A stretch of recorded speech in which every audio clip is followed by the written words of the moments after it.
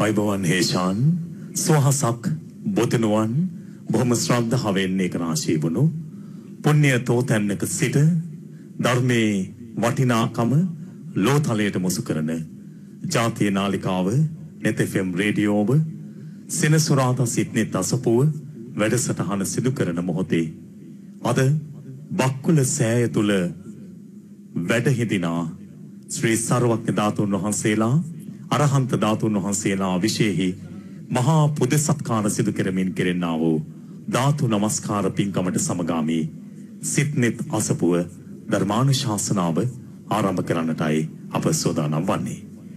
පූජනීය ගලිගමුවේ ඥානදීප හාමුදුරන් වහන්සේගේ අනුශාසකත්වයෙන් සිදුවෙන්නා වූ මේ මහා පින්කම තුළ උන්වහන්සේ සමග බොහොම කල්යාණ මිත්‍ර සම්පත්තියෙන් සද්ධර්මයේ සොයා යන සිතෙන්තත්වයේ සෙනසුරාදා ගරු දේශකයාණන් වහන්සේ මේ වන විට අපේ ගෞරවනීය ආරහතනය පෙරදැරි කරගෙන නමස්කාර පූර්වක ආරහතනාව පිළි අරගෙන මේ උත්තරීතර භූමියට මේ වන විට වැඩම කොට සිටින්නේ. බොහොම ගෞරවයෙන් නමස්කාර පූර්වකව සෙනසුරාදා සිට්නේ තසපුව වැඩසටහන වෙනුවෙන් පිළිගනු ලබනවා. පිළියන්දල තුන්බෝවිල ශාන්ති නිකේතනයේ පූජනීය වන්දනීය වල්පොල ගෞතම ස්වාමීන් වහන්සේව ඒ වගේම අද පළමු පැය තුල ධර්මානුශාසනාව සිදු කරලා ඔබට මේ උතුම් වූ පුදබිමේ සිට දෙවන පැය තුලදී තවත් වටිනා වූ දහම් කතනයකින් ධමාශිර්වාදයකින් සිත් තුළට ධර්මය මුසු කරන්නට අප බලාපොරොත්තු වෙනවා. එනිසා ධර්මානුශාසනාව ආරම්භ කරන මොහොතේ නෙත් FM රේඩියෝවේ ආගමික වැඩසටහන් නියෝජ්‍ය කළමනාකරු දර්ශන බණ්ඩාර මහත්මයාට බොහොම ගෞරවයෙන් ආරාධනා කරනවා. පූජනීය වල්පොල ගෞතම ස්වාමීන් වහන්සේට දැහැත් පිළිගන්වලා සම්ප්‍රදාන කූලව ආරාධනා කරන්නට ධර්මානුශාසනාව වෙනුවෙන් හැමදෙනාම සාදුකාරයක් පවත්වමු. සාදු නද මතෙන් ස්වාසූ දහසක් ධර්මස්කන්ධය දෙසා වදාළ ලෞතුරු තථාගතයන්න් වහන්සේ වැඩ හිඳිනා පුණ්‍ය භූමියේ සිට තථාගත ධර්මය අවදි කරන්නට සැලසෙන මොහොතේ අද සිත්නේ තසපුවේ පින්බර දායකත්වය පානදුර බෙන්කේ ගම අංක 45න් 12 පදිංචි නවීන් තිලංක පෙරේරා මහත්මයා ඇතුළු පවුලේ ඇත්තන් විසින් දරනු ලබන්නේ ඒ සෑම සියලු දෙනාගේමත් අද මේ පුණ්‍ය භූමියට ඒක රාශී වූ ඔබ සියලු දෙනාගේමත් සියලු සත් ප්‍රාර්ථනාවන් සඵල වේවායි කියන චේතනාව පෙරදරි කරගෙන පූජනීය වන්දනීය අපේ වල්පොල ගෝතම ස්වාමීන්ද්‍රයන්න් වහන්සේට ආරාධනා කරනවා ධර්මානුශාසනාව පවත්වන්නට. අවසරයි ස්වාමීන් වහන්ස. සාදු සාදු සාදු. සමන්ත චක්කවාලේසු අත්‍රාගච්ඡන්තු දේවතා සද්ධම්මං මුනි රාජස්ස සුනන්තු සග්ග මොක්ඛදං ධම්මස්සවන කාලෝ අයං බදන්තා. ධම්මස්සවන කාලෝ අයං බදන්තා. ධම්මස්සවන කාලෝ අයං බදන්තා. නමෝ තස්ස භගවතෝ අරහතෝ සම්මා සම්බුද්දස්ස. නමෝ තස්ස භගවතෝ අරහතෝ සම්මා සම්බුද්දස්ස. නමෝ තස්ස භගවතෝ අරහතෝ සම්මා සම්බුද්දස්ස.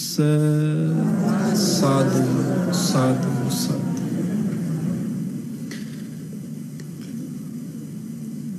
හොරණ දික්කෙහිංපුර සීල ස්වාරණේ ගෞරවනීය නිර්මාතෘවරයන් වහන්සේ වන අපගේ පරම පූජනීය කල්යාණ මිත්‍ර අපි හැමදාමත් බොහොම ආදරෙන් සිහිපත් කරන ගලිගම ඥානදීප උතුම් බුද්ධ පුත්‍රයාණන් වහන්ස ඔබ වහන්සේට අපගේ පළමු නමස්කාරය මේ වෙලාවේ මෙතන සියලු මහා සංගරුවන් අතරින් පුද කරනවා. ඒ වගේම වැඩ සිටින සියලු ගෞරවනීය මහා සංඝරත්නයන් අවසරයි පින්වත් මේනින් වහන්ස මෑණියන් වහන්ස ශ්‍රද්ධාවන්ත පින්වත්නි. අද දවසේ සෙනසුරාදා සිත්නෙ තසපුුව සීලස්වාරණය සිට සජීවීව මේ විදිහට සිදු කරන්න පින්බර මොහොතේ දායකත්වයෙන් ඉතාම ශ්‍රද්ධාවෙන් එකතු වෙනවා පානදුර බෙක්කේගම අංක හතලිස් පහෙන් දොළහෙ නිවසෙහි පදිංචිව සිටින නවීන් තිලංක පෙරේරා පින්වත් මහත්මා ඇතුළු ඒ පවුලේ පින්නතුන්. ඒ ඇත්තු හැම දෙනාගෙම සත් ප්‍රාර්ථනාත් ඉෂ්ටවේවා කියලා ඉතාම මෙත්සිතින් මේ වෙලාව අපි ආශිරවාද කරනවා. පින්වත්නි කාගෙත් ජීවිතයේ හිතසුව පිණිස යහපත පිණිස පහළ වෙච්ච මේ උතුම් බුදු සසුන මේ යුගය තුළ බබුලු වන්නට ගලිගමේ ඥානදීප එයුතුම් මහා ස්තවිරයන් වහන්සේ සිදු කරන මහ මෙහෙවරට අපිත් බොහෝම සතුටින් මේ විදිහට එකතු වෙලා උන්වහන්සේගේ ඒ උතුම් සත් ප්‍රාර්ථනා සියල්ල සමුෘධිමත් වෙන්නට අප හැම දෙනාගෙම යහපත පිණිස දෙව් මිනිසුන්ගේ හිතසුව පිණිස උන්වහන්සේ ප්‍රාර්ථනා කරන සියලූම සිතුම් පැතුම් ඉෂ්ට වෙන්නට ඒවගේම ඉදිවෙන්න උතුම් බක්කුල මහා සෑරදුන් වහන්සේ ඉතාම ඉක්මනින් ඉදිවෙලා දෙව් මිනිසුන්ට වන්දනා කරන්නට අපි හැම දෙනාම රැස් කරන පින් ඒ කාන්තයෙන්ම හේතුවාසනාවේවා කියල අපි ආශිරවාද කරනු සාධූ සාධූ සාධූ.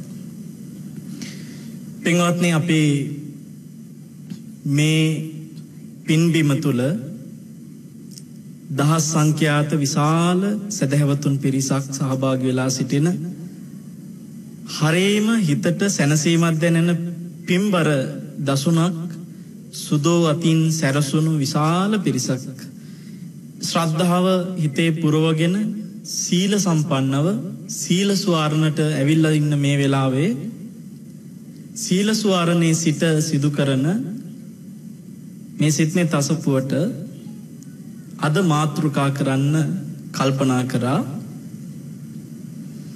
අපේ ජීවිතයේ ඉවසීම ඇතිකරගන්න සුදුසු එක න්‍යායක් ගැන. බුදුරජාණන් වහන්සේගේ දේශනා ඇසුරින් අපිට තේරුම් ගන්න සුදුසු එක න්‍යායක්. මේ කාරණාවදී විශේෂයෙන්ම තේරුම් ගත යුතු දෙයක් මිනිස්සු මේ යුගය තුළ ඉවසීම සෑහෙන දුරට අඩුවෙන්ද ජීවත්වෙන්නේ වැඩියෙන්ද කියලා ඔබ හොඳට කල්පනා කළ බලන්න. පැත්තු කියන්න පින්වාති මේ කාලෙ මිනිස්සුන්ගේ හිත්වල ඉවසීම අඩුයිද වැඩීද. සෑහෙන අඩුයි. අපි හැම දෙනෙකුටම ඉවසීම කියන එක හරි අඩුයි මේ කාලේ. එතකට බුදුරජාණන් වහන්සේගේ දේශනා ශ්‍රවණය කරන ඇත්තෝ මේ ඉවසීම හදාගන්න කොච්චර උත්සාහ කරත් සමහරයට එක තේරෙන්නේ නෑ. ඉති එහින්ද තමයි මංහිතුවේ මේ සිත්නය තසපුුවට අද දවසේ මාතෘකා කරගන්න මේ ඉවසීම හදාගන්න පුළුවන් එක්තරා ක්‍රමයක් ගැන. මේක සාමාන්‍යයෙන් පින්වත්නේ අපි උතුම් දේශන අතරින් එක පාරටම හිතෙන්නේ නැති කාරණාවක් ගලපල තේරුම් කරලා දෙන්න හිතුව. ඒ කියන්නේ ඔයත් ඔහල ඇති කෙනෙකුගේ දොස් දකින්න ඇතුව ගුණ දකින්න කියලා අවවාදයක්. නේද? දොස් දකින්න ඇතුව ගුණ දකින්න කියන එක අපි අහල තිබුණට ඇයි එහෙම ගුණ දකින්න ඕනේ කියන එකත් කෙනෙකුගේ ගුණ දකිනකොට අපිට නිකම් ඉවසීම පුරුදු වෙන හැටිත් අපි සූත්‍ර දේශනාවල කරුණු කීපයක් ඇසුරෙන් ඔබට මේ වෙලාවේ ගලබල තේරුම් කරලා දෙන්න කියලා හිතුවා. පින්වත්නි අපේ ජීවිතයේ සමහර අවස්ථාවල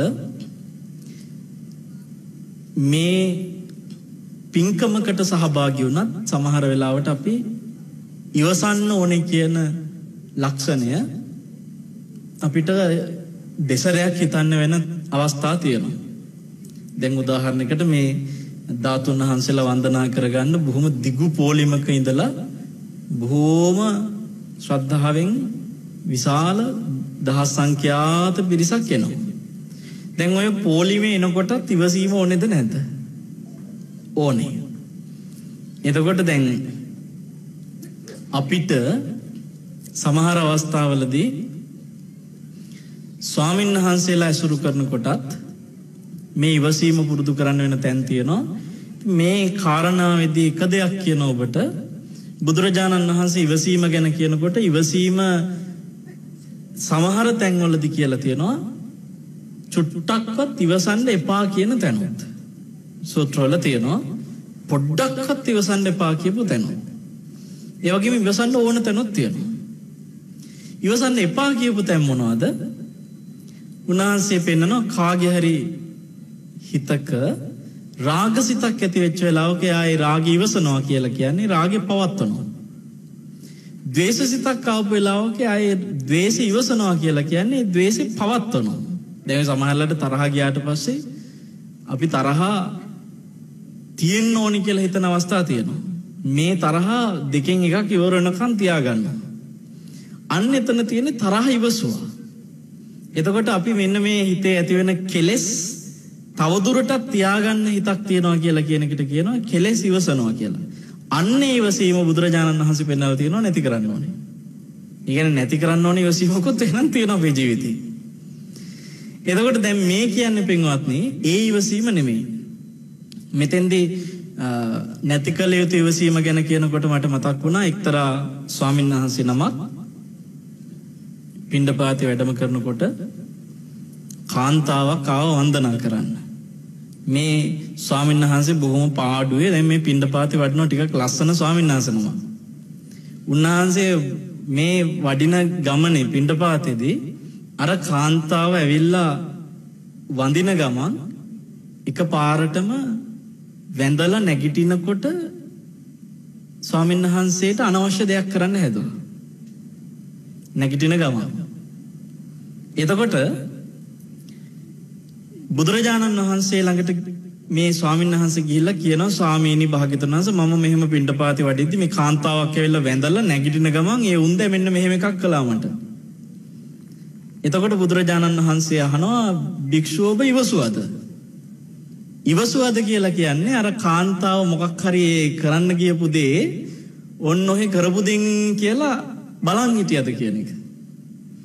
එතකොට නෑ ස්වාමීනි මං ගැහුවා කිව්වා පයින් එක. තල්ලු කරලා දැම්මයි කිව්වා. එතකොට එහෙනම් ඔබේ සීලේ paludu වෙලා නෑ කියලා.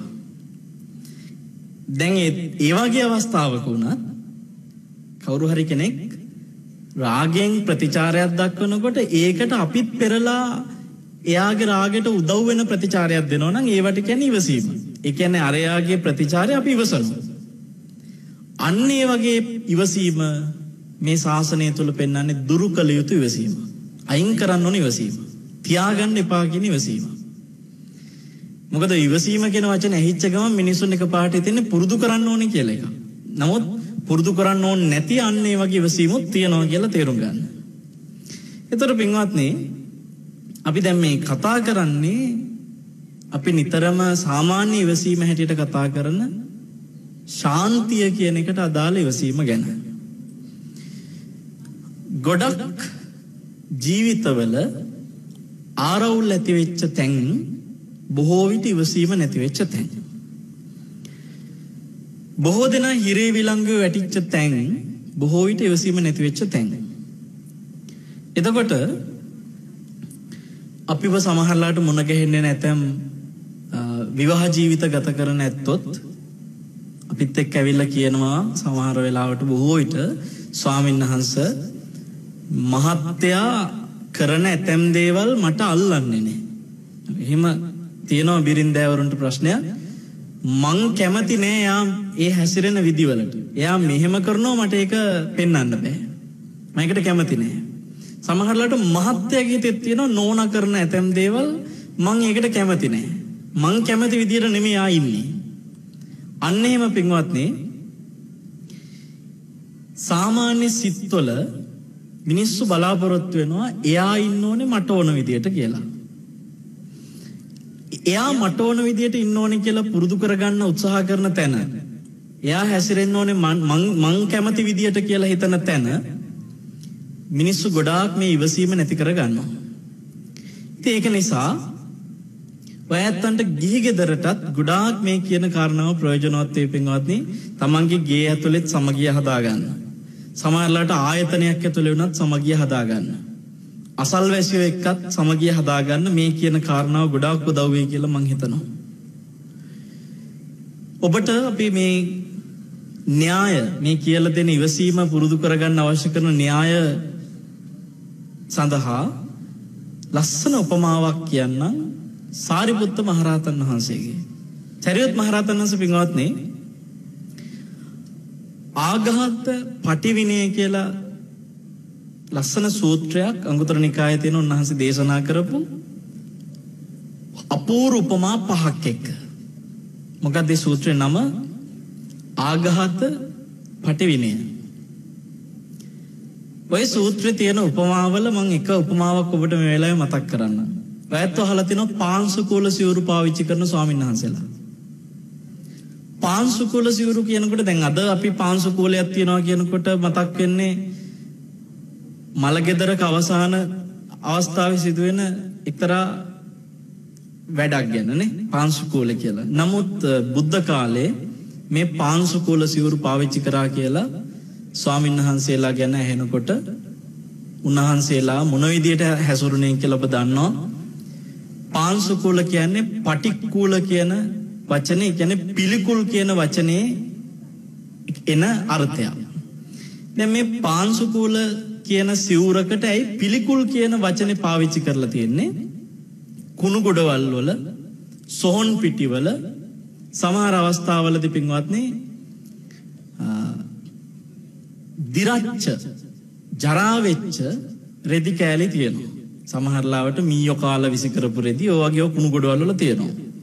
දැන් පාංශු කොළ සිවුරු පාවිච්චි කරන ස්වාමීන් වහන්සේලා ආන් අර කුණු ගොඩවල් වලින් සොහොන් පෙටි වලින් කොහෙන් හරි ගන්න තියෙන අහක දාලා තියෙන රෙදි කෑලි හොයලා ගන්නවා.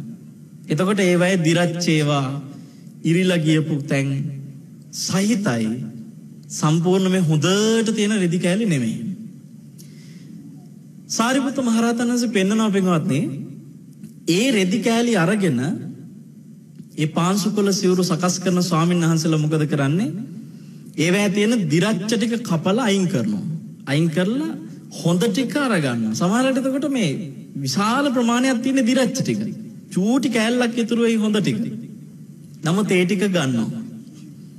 එතකොට දැන් සොහොන් පිටිවලදී වුණත් බුදුරජාණන් වහන්සේ ශික්ෂාපදයක් පනවලා තියෙනවා ස්වාමීන් වහන්සේලාට අලුතෙන්ම ගෙනල්ලා දාපු මිනියක ඔතලා තියෙන හොඳ රෙදි ගන්න තහනම්. ඒකට හේතුවක් සහිතව ඒ ශික්ෂාපදේ පැනෙන්නේ. ඒ නිසා සොහනක එදා තිබිච්ච අමු සොහනකදී වුණත් ස්වාමීන් වහන්සේ නමක් රෙදි කෑල්ලක් ගන්නවා නම් සිවුරක් මහ ගන්න. ඒක දිරච්ච එකක් පින්වත්නි. ඕජස් ගෑවිච්ච දිරච්ච සිවුරකට සුදුසු රෙදි කෑලි. දැන් මෙතන මේ දිරච්ච රෙදිවල අර කෑලි කපල අයිංකරේ දිරච්ච ටික නිසා. එතකොට හොඳ කෑලි ටික විතරක් අරගෙන සිවුරක් හදාගත්තට පස්සේ ඒ සිවුර හොඳට ශක්තිමත් තියාගන්න පුළුවන් වගේ සාරිපුත්ත මහරහතන් වහන්සේ පෙන්නනවා. මේ සමාජයේ අපිට මුණ ගැහෙන මිනිස්සු අතරේ ඕන තරම් තියෙනවා දිරච්ච කොටස වගේ දකින්න දේවල්. මිනිසුන්ගේ ළඟ පින්වත්නි ඕන තරම් දොස් අඩුපාඩු තියෙනවා දුස්සීලකම් තියෙනවා. ඒ දුස්සීලකම් ඒ අඩුපාඩුකම් ඒ සියල්ල හරියට අර රෙදි කෑල්ලේ දිරච්ච ටික වගේ කිව්වා. ඒතර අර පාංශු කොළ සිවුරු පාවිච්චි කරන හාමුදුරුවෝ ඒ දිරච්ච කෑල්ලේ ටික අයින් කරලා ඒ රෙද්ද ගන්න තියෙන හොඳ කෑල්ල ගත්තා වගේ සරියුත් මහරහතන් වහන්සේ යෝජනා කරනවා අපිට ඇසුරු කරන මිනිස්සුන්ගේ තියෙන මොනවා හරි ගුණයක් තියෙනවා නම් අන්නේ ගුණය ගැන හිතන්න කිව්වා. ඇයි උන්වහන්සේ මේ වගේ උපමා කියන්නේ? එතන උපමා පහක් පෙන්වනවා පින්වත්නි. තව ලස්සන උපමාවක් එතන තියෙනවා. මිනිස්සෙක් යනවා දුර ගමනක් කැලෑවකින්. යනකොට මෙයා ගෙනාපු වතුර ඉවර වෙනවා. දැන් මෙයා කැලෑ පාරේ යන්නේ. මෙයා ගෙනාපු වතුර ඉවර වෙච්ච නිසා මෙයාට දැන් වතුර තිබහක් ආවට පස්සේ වතුර ටිකක් හොය හොයා ඒ කැලේ දිගටම යනකොට මෙයා පින්වත්නි ක්ලාන්ත වෙලා වතුර නැතුව බොහෝම අමාරුවෙන් කොතනද පොකුණක් තියෙන්නේ කොතනද ගඟක් තියෙන්නේ කොතනද ඇලක් තියෙන්නේ කියලා හොය හොයා හොය හොයා යනකොට ඔන්න මෙයාට පොකුණක් හම්බෙනවා වාසනාවකට. ඒ හම්බෙච්ච පොකුණේ උඩ සෙවල පරඬල් පිරිලා. දැන් මෙයා ඉන්නේ හොද්දටම ක්ලාන්ත වෙලා. මට දැන් දිවකට වේලිලා. දැන් තවදුරට ය아가න්න බැරි තරමටම අර කියන්නේ හෙම්බත් වෙලා. සෙවල පරඬල් උඩ පිරිලා තිබ්බත් මෙයාට මේ පොකුණ වටිනවා. සැරියුත් මහරහතන් වහන්සේ කියනවා අර මිනිස්සයාර පොකුණට අත දාලා උඩින් තීච්ච සෙවල පරඬල් අතින් එහාට මෙහාට කරලා වතුර ටික අරගෙන බොනවායි කිව්වා. අර උඩින් තීච්ච සෙවල පරඬල් ඈත් මෑත් කරලා වතුර අරන් බොනවා වගේ සාරිපුත්ත මහරහතන් වහන්සේ යෝජනා කරනවා අපිට හම්බෙන මිනිසුත් ඉන්නවා ඒ පොකුණ වගේ. උඩින් එක පාට අපිට පේනවා දොස්. ඒ උඩින් පේන දොස් උන්වහන්සේ කියනවා හිතින් ඈත් මෑත් කරලා ಗುಣ ටික දකින්න කියලා. දැන් ඕවාගේ පින්වත්නි මේ ධර්මයේ තුල දොස් හොයන් නැතුව ගුණම දකින්න කියලා පෙන්නපු සූත්‍ර ඕන තරම් තියෙනවා මේ දේශන අතරේ. ඔය අසත්පුරුෂ වදුකා සූත්‍රය කියලා තියෙනවා අංගුත්තර නිකායේ දේශනයක්. ඒ සූත්‍රයේදී බුදුරජාණන් වහන්සේ පෙන්නනවා සත්පුරුෂයාගේ අසත්පුරුෂයාගේ විශේෂ ලක්ෂණ දෙකක්. සත්පුරුෂයා කෙනෙක් එක්ක කතා කරද්දී තව කෙනෙක් ගැන සත්පුරුෂයා ඒ කතා කරන වචන ඇතුළේ හැමතිස්සෙම තව කෙනෙක්ගේ ಗುಣ කියන්න උත්සාහ කරනවා කියනවා. අගුණයක් කියනවා නම් එහෙම ඒක හාර හාර හාර හාර අහන්න ඕනේ. ඒත් කියන්නේ අන්තං අහන එකට මොකක් හරි උඩින් උත්තරයක් දෙනවා තව කෙනෙක්ගේ දොස් එහෙම කියන්න යන්නේ නැහැ. එයා සත්පුරුෂයෙක් කිව්වා. එතකොට කාගේ හරි දොසක් ඇහුවත් යාන්තම් කියලා අයින් වෙන්න හදනවා නම් බුදුරජාණන් වහන්සේ අහනවා ඒ සත්පුරුෂයාගේ කටින් අර දැන් අපේ වචනින් කියනනම් පැනලා කියනවා කියන්නේ අන්න එහෙම එක වරටම දොස් කියාගෙන කියාගෙන යන ගතියක් සත්පුරුෂයා ළඟ නැහැ කිව්වා. එතකොට ඒ අනුන්ගේ ಗುಣ කියන විදිය. අනුන්ගේ දොස් කියන විදිය. උන්වහන්සේ පෙන්වන සත්පුරුෂයා තමන්ගේ ගුණයි තමන්ගේ දොසුයි කියනකොට තමන්ගේ ගුණ හැමතිස්සෙම කියන්නේ කවුරු හරි කෙනෙක් ඇහුවොත් විතරක් ඒකත් යන්තම්. තමන්ගේ ගුණය. අහන්නත් කලින් අර අපි කියපු විදිහට පැනලා කියන ගතියක් නෑ තමන්ගේ ගුණ. සත්පුරුෂයා. හැබැයි සත්පුරුෂයා තමන්ගේ දොස් කිව යුතු බුද්ධිමත් කෙනෙක් අභියස අහන්නත් කලින් කියනවායි කියනවා. අනේ ස්වාමිනී මගේ ළඟ මෙහෙම දෝෂයක් තියෙනවා මට ඒක හදාගන්න උදව් කරන්න අහන්නත් කලින් කියනවා කියනවා. ඉතින් හාරහාර අහන්න දෙයක් නැහැ කියනවා සත්පුරුෂයා ළඟ. දැන් ওই ටිකේ අනිත් පැත්ත අසත්පුරුෂයා. අසත්පුරුෂයාගේ හැටි බුදුරජාණන් වහන්සේ පෙන්නනවා. අසත්පුරුෂයා තව කෙනෙක්ගේ දොස් කෙනෙක් අහන්නත් කලින් කියනවා. ඒ කියන්නේ අනුන්ගේ දොස් පැනලා කියනවා අහන්නත් කලින්. ඒ අසත්පුරුෂයා කිව්වා. අනුන්ගේ ಗುಣ ඇහුවොත් මිසක් කියන්නේ ඒකත් අහද්දි අහද්දි හාරහාර අහද්දි අහද්දි කියන්නේ මේ ආන්තම්. ආ ඔව් එහෙම තියෙන තමයි. ඒ වුණාට ඉතින් ඔයිට ඔයිට එහා මේ මේ පැත්තෙන් මේ විදිහේ දොස් තියනවනේ කියලා ආයි අර ගුණේ කියාගෙන ඇවිල්ලා පයින්නේ දොස් කියන පැත්තට. ගුණේ කියන්නේ ඒ අසත්පුරුෂයා. ඊළඟට බුදුරජාණන් වහන්සේ පෙන්නනවා අසත්පුරුෂයා තමන්ගේ පැත්තේ තියෙන ಗುಣ අහන්නත් කලින් කියනවා අනුන්ට තමන්ගේ ගුණ හැබැයි අසත්පුරුෂයා තමන්ගේ දොස් ගැන කවුරු හරි කෙනෙක් ඇහුවත් යාන්තන් නිකන් කියලා අයින් වෙන්න බලනවා එහෙම කියන්නේ නැහැ ලේසියෙන්. ඒ අසත්පුරුෂයාගේ හැටි. දැන් මේ හැම දේශනාවකම පේනව පින්වත්නි ආඝාත පටිවිණී සූත්‍රය, අසත්පුරුෂ වදුකා සූත්‍රය මේ හැම සූත්‍රකෙම පෙන්වන්නේ මොකද්ද? අපි තව කෙනෙක්ගේ දොස් වලට වඩා හොයන්න ඕනේ මොකද්ද? ಗುಣ. ඇයි මගේ දැන් මේ අද දේශනාවේ කාරණාව ඇයි කියන එක. දැන් මෙහෙම දේශනයක් කරනකොට පින්වත්නි අනුන්ගේ දොස් හොයන්න එපා ගුණ හොයන්න කියලා කියන එක වෙනුවෙන් මෙච්චර මේ රේඩිය එක ගුවන් කාලයක් වෙන් කරන්න තරම් ඕනේ නැහැ. ඔබ හැමතිස්සෙම අපි අහන එකක් දන්න එකක්. නේද? මේක නෙමෙයි මගේ මේ මාතෘකාව. මේ අනුන්ගේ ගුණ හොයන්න හොයන්න කියන එක නෙමෙයි මාතෘකාව. මං අහන්නේ ඇයි ගුණ හොයන්නේ? ඒකයි මේ වෙලාවේ අපි අහන්නේ. ඇයි දොස් හොයන්න එපා කියන්නේ? ඒකට හේතුව හොයන්න ඕනේ අපි. එතකොට පින්වත්නි අපිට කළ යුතු දේ නොකළ යුතු දේ තේරෙනවා. අද මේ සිත්නේ තසපුව දේශනාව ඇතුළේදී ඔයත් දැන් තේරුම් ගන්න සාරිපුත්ත මහරහතන් වහන්සේ බුදුරජාණන් වහන්සේ මේ උත්තමයන් වහන්සේලා ඇයි මෙච්චරටම අනුන්ගේ ගුණ හොයන්න ගුණ හොයන්න කියලා කියන්නේ. අපි මේ ජීවිතය තුළ තමන් ඇසුරු කරන එකිනෙකාට දීලා තියෙන වටිනාකම් වෙනස්ද සමානයිද ඔය ඇත්ත කියන්නේ. ඔය ඇත්ත එක එක්කෙනා තමන් ඇසුරු කරන විවිධ අයට දීලා තියෙන වටිනාකම් සමානද වෙනස්ද? එක එක්කෙනාට වෙනස්. දැන් අපි කියමු ඔය ඇත්ත මේ ඇවිත් ඉන්න සීලසුවාරණේ නිර්මාතෘන් වහන්සේ අපේ ගලිගුමේ ඥානදීප ස්වාමීන් වහන්සේ ඇසුරු කරනකොට උන්වහන්සේ අභියස ඔබ වචන පිට කරන විදිහයි. සාමාන්‍ය ගමේ ගොඩේ හම්බෙන සිරිපාල කෙනෙක් ළඟ ඔබේ වචන පිට කරන විදිහයි. සමානයිද වෙනස්ද? වෙනස්. ඇයි වෙනස්? අපි පින්වත්නි එක එක්කෙනාට දීලා තියෙන ඇගයීම් වෙනස්. අපි එක එක්කෙනා ඇගයීමක් තියෙනවා අඩු වැඩි වශයෙන් අන්නේ ඇසුරු කරන අය කෙරෙහි තියෙන ඇගයීම් හැදිලා තියෙන විදිහත් එක්ක ඔබට මම දෙන්නම් පෙන්වලා දෙන්නම් එක්තරා කාරණයක් මෙහෙම. දැන් අපි කියමු උදාහරණයකට මෙතන ඉන්නවා කියමු මාල නෝන කියලා නෝන කෙනෙක් හරිද මේක උදාහරණයට ගන්න නම. මෙතන ඉන්න මාලලා ඉන්නවනම් මේ මාලලා කලබල වෙන්න එපා. දැන් ඔය කියන මාල නෝනා මගේ වැඩසටහන් වල විශාල දායකත්වයන්ට එකතු වෙලා ලෙඩක් දුකක් හැදුනත් පුදුම ආදරෙන් ඒ හැම දේම හොයලා බලලා පුදුම විදියට රැකවරණයක් දීලා මේ ධනයෙන්ද ශ්‍රමයෙන්ද සංවිධානයෙන්ද හැම දෙයින්ම විශාල කැපවීමක් කරලා අපිව බලා ගන්නවා කියලා කියමු මාව. ඒ මාලක් කියන නෝනා. එතකොට පින්වත්නි ඒ මහත්මිය ඒ කරන කැපවීම සියල්ල එක්ක මට මේ වැඩසටහන් කරගෙන යන ගමන පහසු පහසු වෙලා තියෙනවා කියමු. දැන් මේ පහසුව මට සිහි වෙනකොට මෙතුමිය මේ මේ විදිහට හොයලා බලලා ඔක්කොම වියහේදම් කරලා පහසුකම් ටික හදලා තියෙන නිසා මට පුදුම වටින පුදුමාකාර මේ වෙලාවේ සහනයක් ඇය ඉන්න එක කියලා දැනෙනවනේ. දැන් එතකොට ඇයට මම දීලා තියෙන ඇගීමේ මට්ටම ඔන්න දැන් ඔයත් තේරුම් ගන්න.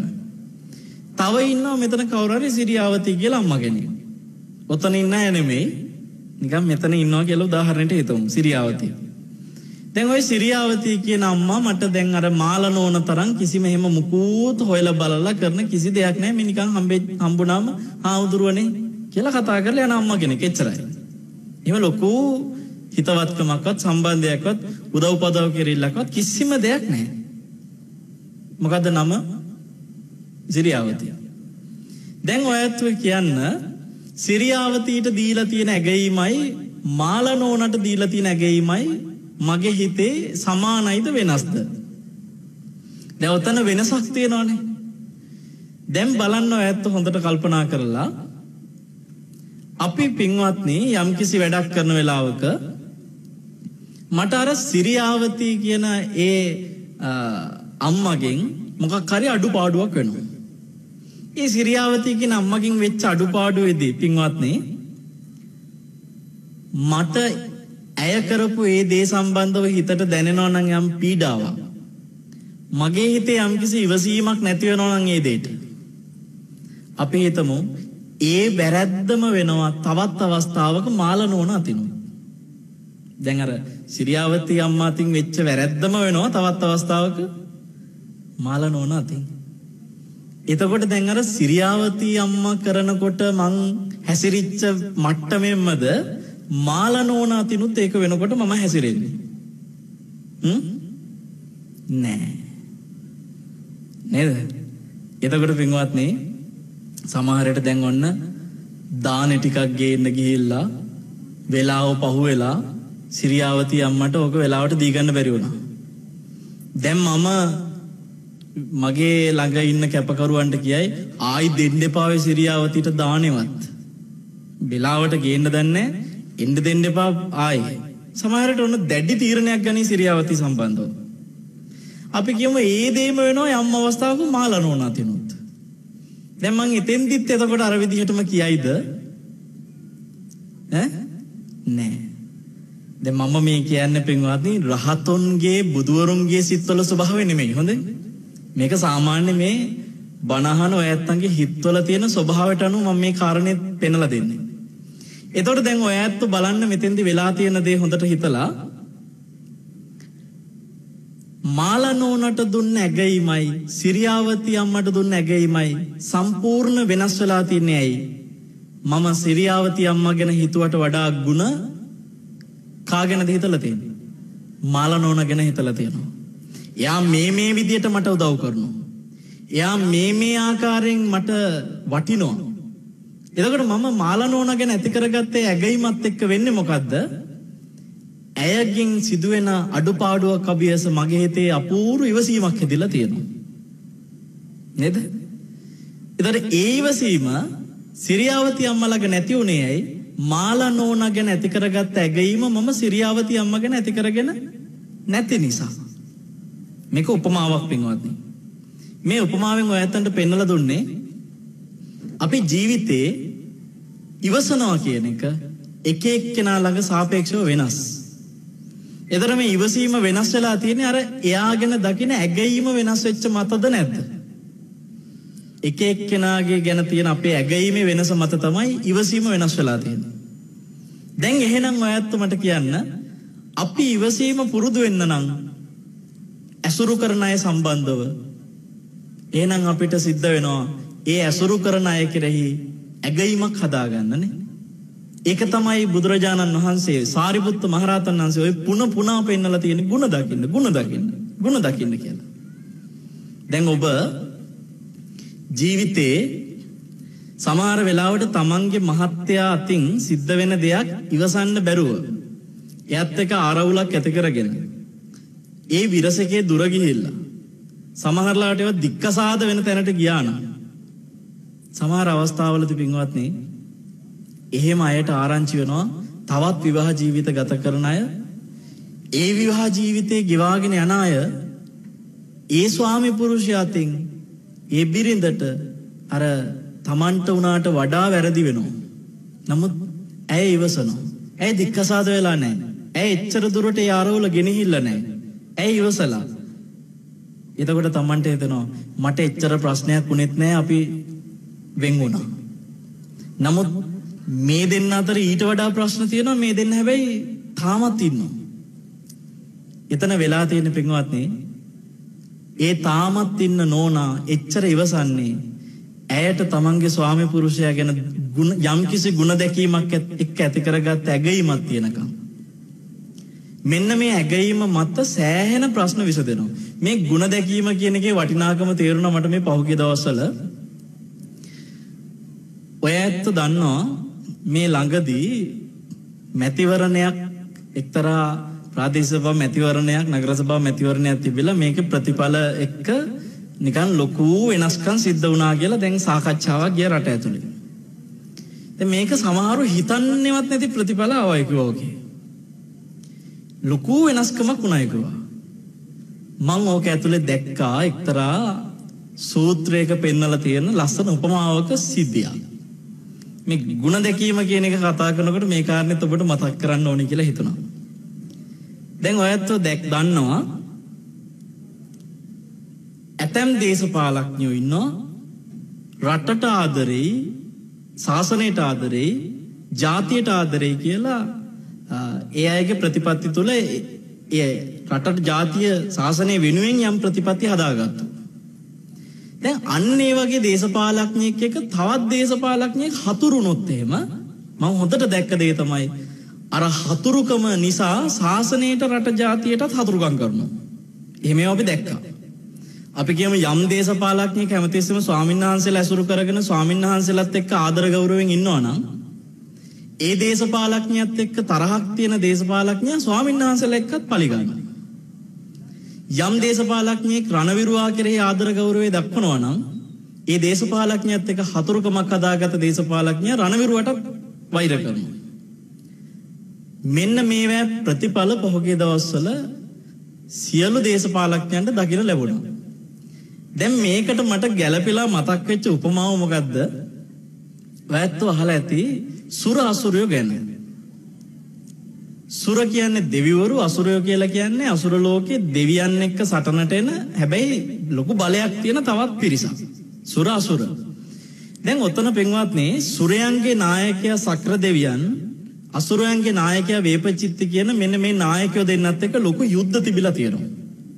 බුදුරජාණන් වහන්සේ පෙන්වන එක්තරා යුද්ධකදී සුරය දිනනවා අසුරය පරදිනවා. හරිද? දැන් ඔතන පින්වත්නි අර පැරදිච්ච අසුරයන්ගේ වේපචිත්ති කියන නායකයව අල්ලගෙන එනවා කියන අසුරය දෙව් දෙව්ලොවට. අරගෙන ඇවිල්ලා ඒ වේපචිත්තව ගැට ගහනවා එක්තරා අමුතු රැහැනකින්. වේපචිත්ති කියන අසුරයව ගැට ගහපු ඒ රැහැන මොකද්ද? ඒක හරි අමුතු රැහැන. ඒ රැහැන බුදුරජාණන් වහන්සේ පෙන්නනවා වේපචිත්ති මේ තමන්ව හිරකරපු සුර කියන දෙවිවරුන්ගේ අගුණ දකින තාක් රැහැන තද වෙනවා. ඒක තමයි රැහැන හැටි. ගුණ දකින තාක් රැහැන බුරුල් වෙනවා.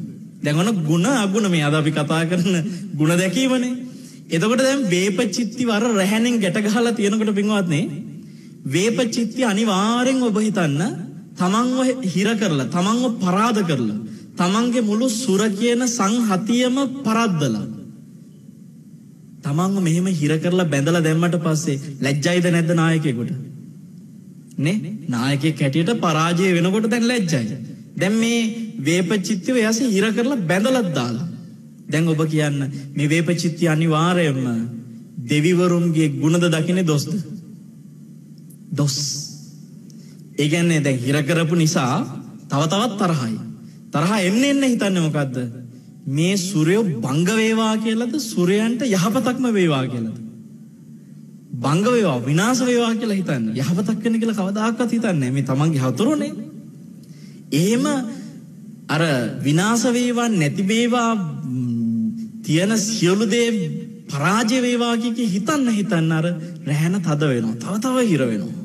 කවදාකවත් බේරිලා යන්න වෙන්නේ බුදුරජාණන් වහන්සේ පෙන්වන එක මහා පුදුම රැහැනක් අන්නේ රැහැන වගේ ශ්‍රාවකයටත් තියෙන රැහැනක් ගැන පෙන්වලා දෙනවා මේ දේශනාවේදී මට ඔය රැහැන මතක් වුණා මේ ඡන්දෙත් එක්ක. ඒ කියන්නේ අපි දැක්ක එක්තරා පිරිසක් දේශපාලන තියෙන තරහත් එක්ක ශාසනය එක්කත් සංඝයා එක්කත් හැමදේම එක්ක වෛරකම් කරා.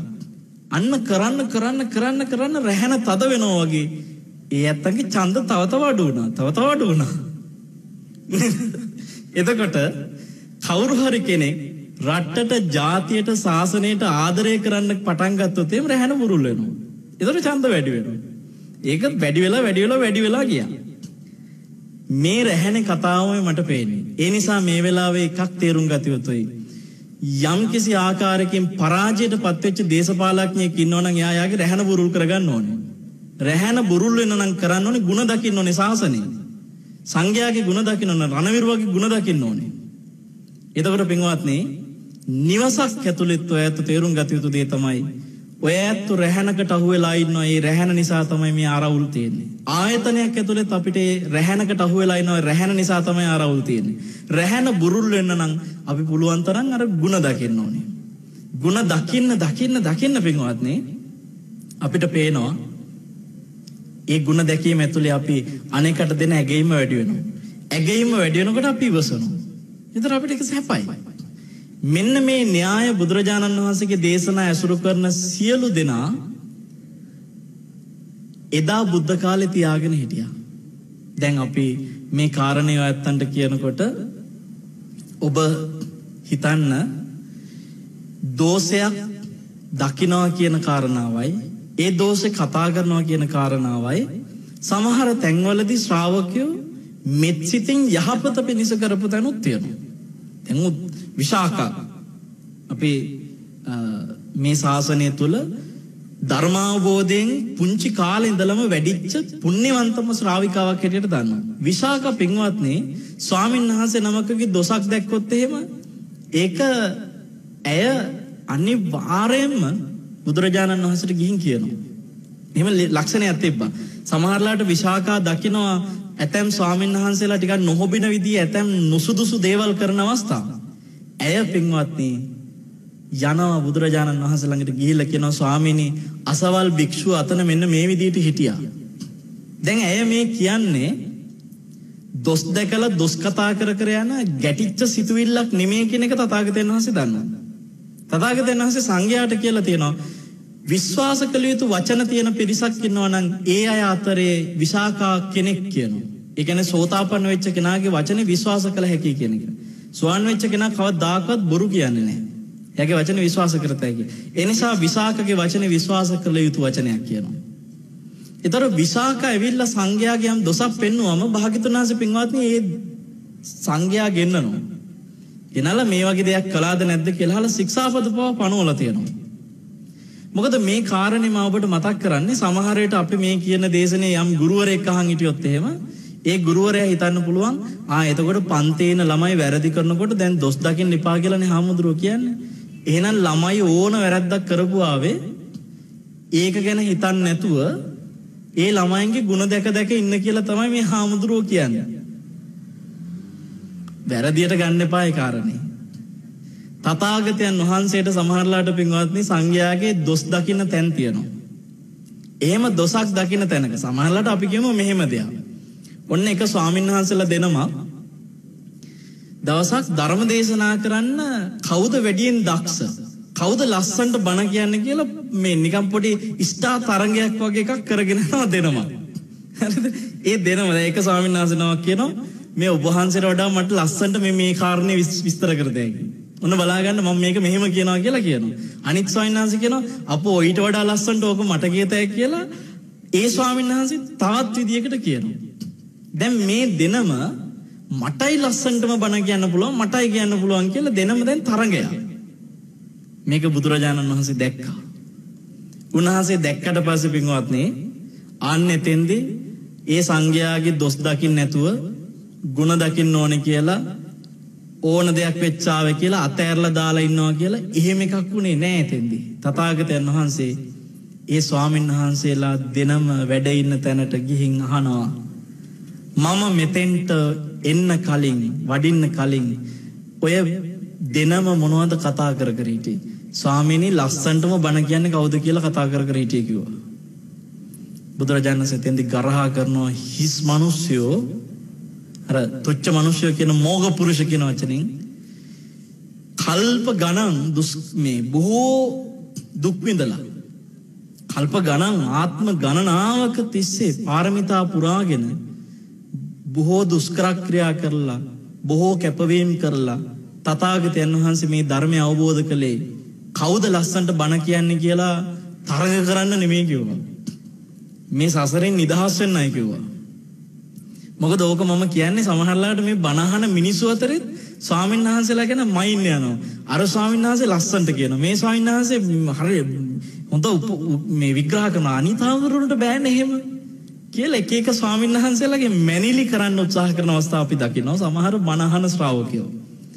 සමහරලාට ඇතැම් අය අහනවා දැන් මේ දවස්වල මම පොඩ්ඩක් ධර්ම දේශන පුළුවන් තරම් අඩු කරලා චුට්ටක් විවේකී වැඩිපුර තියාගන්න කියලා ජූලි මාස වෙනකන් මේ වැඩියෙන් දේශන බාර ගන්න අවස්ථා අඩු කරගෙන මේ වී දෙකකට ඒ කියන්නේ විදේශ ධර්ම දේශනා අවශ්‍යයටයි විවේකේ. විදේශ විවේක කියන වී දෙක වෙනුවෙන් පොඩ්ඩක් කාලෙ වෙන් කරා මේ කාලේ. ජූලි වෙනකන් ටිකක්. දැන් එතකොට ධර්ම දේශනාවට පොඩ්ඩක් වඩින එක අඩු හින්දා මේ සමහර අය යනවා ඔබ වහන්සේ දැන් පේන්න අඩුයිනේ රේටිං වැටිලාද? කියලා අහනවා. මේ මොන ලැජ්ජ නැති හිතකින් අහනවාද කියලා මට තේරෙන්නේ නැහැ පින්වත්නි ධර්ම දේශකයන් වහන්සේ තථාගතයන් වහන්සේ අර දුෂ්කර ක්‍රියා කරලා කල්ප ගණන් පාරමිතා පුරලා අවබෝධ කරපු ධර්මයේ කියා දෙන්නේ මේ රේටිං හදාගන්නද නේද එතකොට සංඝයාව කවදාකවත් ඔය ඇත්තෝ එහෙම ස්ටාස්ලා වගේ මයින් යන්න එපා. SMS ගහන විදියට නිකන්. අපේ හාමුදුරුවෝ මේ මේ හාමුදුරුවෝ තමයි අපේ හොඳම රේට් එක තියෙන හාමුදුරුවෝ කියලා. එහෙම මැනෙලි තියාගන්න එපා. අර ස්වාමීන් වහන්සේලා දෙනම කරේ ඒක. බුදුරජාණන් වහන්සේ දෙනමට හිස් පුරුෂය කියලා ගරහා කළා. එතන උන්වහන්සේ හිස් පුරුෂය කියව එක අදටත් අදාළ වෙනවා. කවුරු හරි ස්වාමීන් වහන්සේ නමකගේ හිතට આવොත් එහෙම මම අසවල් හාමුදුරන්ට වඩා හොඳට බණ කියන්න ඕනේ. මං අසවල් හාමුදුරුවන් පරද්දන්න ඕන කොහොම හරි. එහෙම හැඟීමක් ස්වාමීන් වහන්සේ නමකගේ හිතට આવොත් එහෙම අනිවාර්යෙන් අර බුදුරජාණන් වහන්සේගේ මෝග පුරුෂය කියන ආමන්ත්‍රණයට තමනුත් සුදුසු වෙනවා කියලා අපි දැනගෙන අපි මේ කටයුතු කරන්න. එනිසා පින්වත්නි අපි හැමතිස්සෙම මේ ඇසුරු කරන ස්වාමීන් වහන්සේලාගේ ගුණ දකිනවා. දැන් ඒ ගුණ දකින නිසා අපි එකිනෙකා වහන්සේ ඔබ දැකලා තියෙනවා අපි ඥානදීප ස්වාමීන් වහන්සේගේ ගුණ වර්ණනා කරනවා ඥානදීප ස්වාමීන් වහන්සේ අපේ ගුණ වර්ණනා කරනවා මේ විදිහට අපි තමන් වහන්සේලා අතර ගුණ වර්ණනා කර ගැනීමක් සිදු වෙනකොට ඒ සියලු ස්වාමීන් වහන්සේලාගේ දේශනාන ශ්‍රාවකයොත් පුරුදු වෙනවා. ඒ හැම ස්වාමීන් වහන්සේ නමකගේම ධර්ම දේශනා බොහොම සතුටින් අහන්න. තෝරලා බීරිලි නෑ. එතකොට මේ තෝරලා බේරිලි කරපු අර ස්වාමීන් වහන්සේලා දෙනමට එතෙන්ද බුදුරජාණන් වහන්සේ නිකන් හිටියේ නෑ. කෙලින්ම අවවාද කළා. හිස් හිස් මිනිස්සෙක් කියලා අවවාද කරා. ඒ නිසා ඔබ ගුරුවරයෙක් වෙන්න පුළුවන් ඔබ අම්මා කෙනෙක් වෙන්න පුළුවන් ඔබ තාත්තා කෙනෙක් වෙන්න පුළුවන්. මේ ධර්මයේ ඇතුළේ පින්වත්නි ಗುಣම දකින්න දොස් දකින්න එපා කිව්වා කියන එක තමන්ගේ අතින් අවවාදයක් ලැබිය යුතු කෙනාට නොසලකා හරින්න හේතුවක් කරගන්න එපා. ඒක අනිවාර්යෙන් තියෙන්න ඕන එකක්. තමන් අතින් අවවාද වෙන්න ඕන කෙනාට අනිවාර්යෙන් මේ අවවාද කළ යුතු තැන කළ යුතුයි. අද දැන් සමහරලාට පින්වත්නි ඔය කතාවක් තියෙනනේ අම්මලාට ගුරුවරුන්ට ළමයින් කෙරෙහි හැසිරෙනකොට බයින් එපා කියලා. ළමයින්ට බයින් එපා ළමයින්ට දොස් කියන්න එපා කියලා. මම එක කිසිසේත් කැමති කාරණාවක් නෙමෙයි. මොකද හේතුව දරුවෝ අද සමහර වෙලාවට පින්වත්නි හැසිරෙන විදිය දකිනකොට දැන් අද එක තාත්තා කෙනෙක් කෙනව පුතෙක් එක්කගෙන අපිව මුණ ගැහෙන්න ඒ පුතා නීති විද්‍යාලයට ගිහිල්ලා ඉගෙන ගන්න මෙයාට එතන ඉගෙන ගන්න අනිත් යාළුවන්ගෙන් නිකන් විහිළු තහළු ටිකක් ආවා කියලා මෙයා කෙලීම නීති විද්‍යාලය යන එක නවත්තලා දානවා. බෑ මට ඒක යන්නම් බෑ කියලා. ඊට පස්සේ දැන් මෙයා රට යන්න හදනවා මේවා අමතක වෙන්න කියලා. මෙයා ටිකක් බල්ල බල්ල බෑ මෙයාට දරා ගන්න අර විහිළු තහළු කරන එක. මෙයා අතෑරලා දැම්මා. තාත්තා අහනවා මගෙන් ස්වාමීන් වහන්සේ මෙයා දැන් කොහොමත් නීති විද්‍යාලයට යන එක නැවත්තලා ඉවරයි. මෙයා දැන් රට යන එක සාර්ථක වෙයිද? මෙයා මොකද කරන්න ඕනේ? මං ඒ තාත්තට අර නරියෙකුට හැදිච්ච කැහිල්ල ගැන කියලා දුන්නා. මේක මේ ජේතවනාරාමේ අල්ලපු ඇටේ තිබ්බ පින්වත්නි කැලෑවක් මේ කැලේ එක නරියෙක් දවස් ගානක් තිස්සේ ලතෝනි දිදි මර ලතෝනි දිදි කෑ ගහනවා. ගොඩක් වෙලාවට මේ රෑට ස්වාමීන් වහන්සේලාට ඇත පෙන්නවත් නැහැ. එක දවසක් සද්ද හොන්දටම වැඩි. එදා ස්වාමීන් වහන්සේලා උදේ පාන්දර අවදි වෙලා කතා කරනවා ඊයරෑ හරියට සැතපෙන්නවත් බැරි වුණා. මේ මොකට කෑ ගහනවද දන්නේ මේ නරියා කියලා කතා වෙනකොට උතනින් බුදුරජාණන්සේ වඩිනවා. උන්වහන්සේ නැවතිලා අහනවා අර සංඝයාගෙන් මහණෙනි ඔය නරියා ඒ ලතෝනි දීලා කෑ ගහන්න හේතුව මං කියන්නම්. ස්වාමීන් වහන්සේලා අනේ හා ස්වාමීනි කියලා දැන් අහගෙන ඉන්නවා. බුදුරජාණන් වහන්සේ කියනවා ඔය නරියට තියෙනවා උක්කණ්ඨක කියලා ලෙඩක්. මොකද්ද ලෙඩේ නම? බුදුරජාණන් වහන්සේගේ අවබෝධය කොහොමද කියලා බලන්න උන්වහන්සේට නරියෙකුගේ තියෙන ලෙඩේ පවා හඬ ඇහෙනකොට තේරෙනවා. නැසික උක්කණ්ඨක කියලා ලෙඩක්. ඒ ලෙඩේ හැටි තමයි මහණෙනි ඇඟ කහනවා. හැමතිස්සෙම කහනවා. කසන්නේ පිටින් ගෑවිලා වගේ කසනවා. දැන් මොනවා හරි දෙයක් අපිට පිටින් ගෑවිලා කසන ගතියෙන් දැනෙන ලෙඩක් ඒක. ඒතර නරියට හිතෙන්නෙම එතන තියෙන මොනවා හරි දෙයක් ගෑවිලා තමයි කසන්නේ. ගහක් යට ඉන්නකොට නරියට කසන්න ගත්තු ගමන් නරියා කල්පනා කරන මේ ගහින්ද තමයි කසන්නේ. ගහට බැන බැන යනවා එතනින්. නමුත් කැසිල්ල තියෙන ඇඟ ඇතුලේ.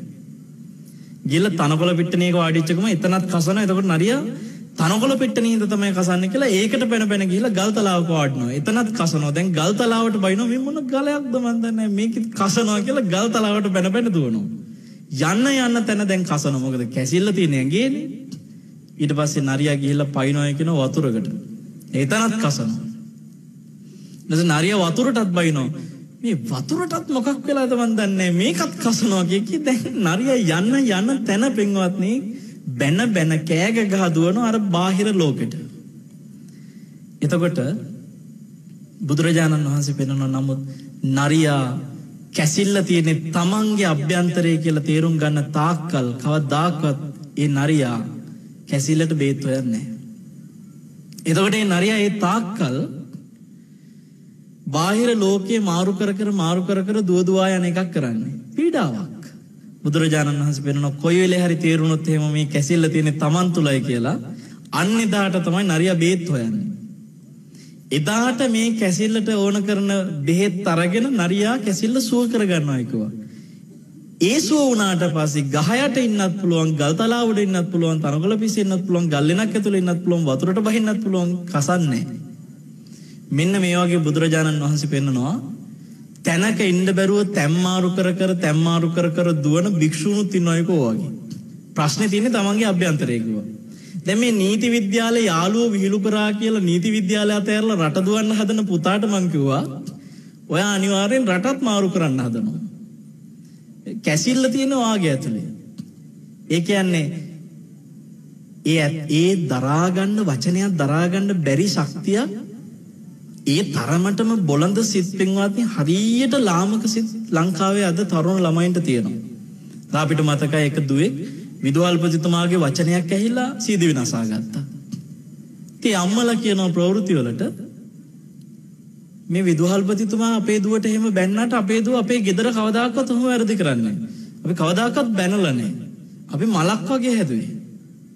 අපි ආදරෙන්ම හැමදාම කතා කරේ. අපි ඔහොම බැනලා නැහැ. දැන් මේ අම්මලා බයිනවා විදුහල්පතිතුමාට. නමුත් මේ අම්මලා මලක් වගේ බයින් නැතුව හැදුවා කියන එක නිසාම තමයි විදුහල්පතිතුමාගේ මේ චූටි වචනයක් ඉවසන්න බැරුව සීද විනාසා ගන්න. ඉතින් එතකොට ඔබ හිතන්න අර ගුරුවරයාගේ වචනය අභියස සියද විනාසා ගන්න තරම් හිත බොළඳ වුණා කියලා කියන්නේ දරා ගැනීමේ ශක්තිය නැහැ.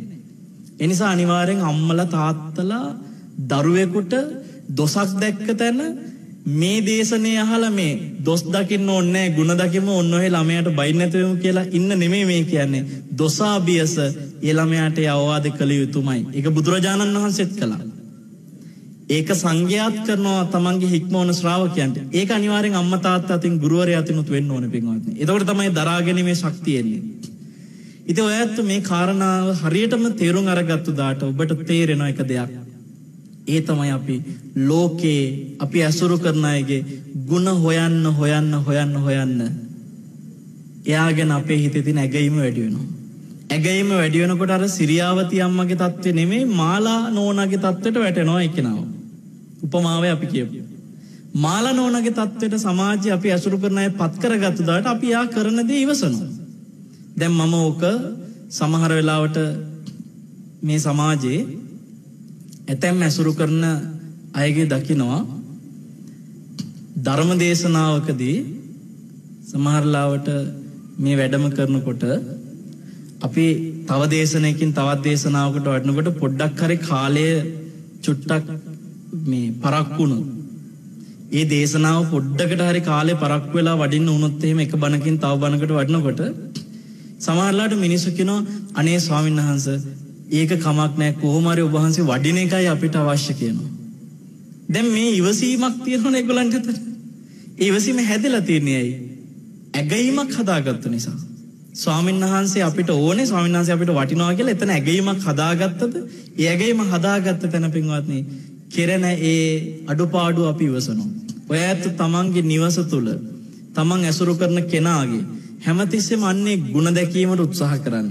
මම ඇතැම් විට දකිනවා ප්‍රශ්න ඇති වෙලා අපිව හොයාගෙන ඇවිල්ලා කතා කරන අයගෙන් මම සාමාන්‍යයෙන් අහනවා දැන් දොස් ටික කියාගෙන කියාගෙන යනවා ස්වාමීන් වහන්සේ අපේ මහත්තයා මෙහෙමයි අර එහෙමයි මේ විදිහයි කේන්ති යනවා කිසිම මේව නෑ මෙහෙම නෑ කියලා දැන් දොස් තමයි ලිස්ට් එකම කියාගෙන කියාගෙන යන්නේ මං අහගෙන ඉඳලා ඉඳලා අහනවා දැන් ಗುಣ මොනවද තියෙන්නේ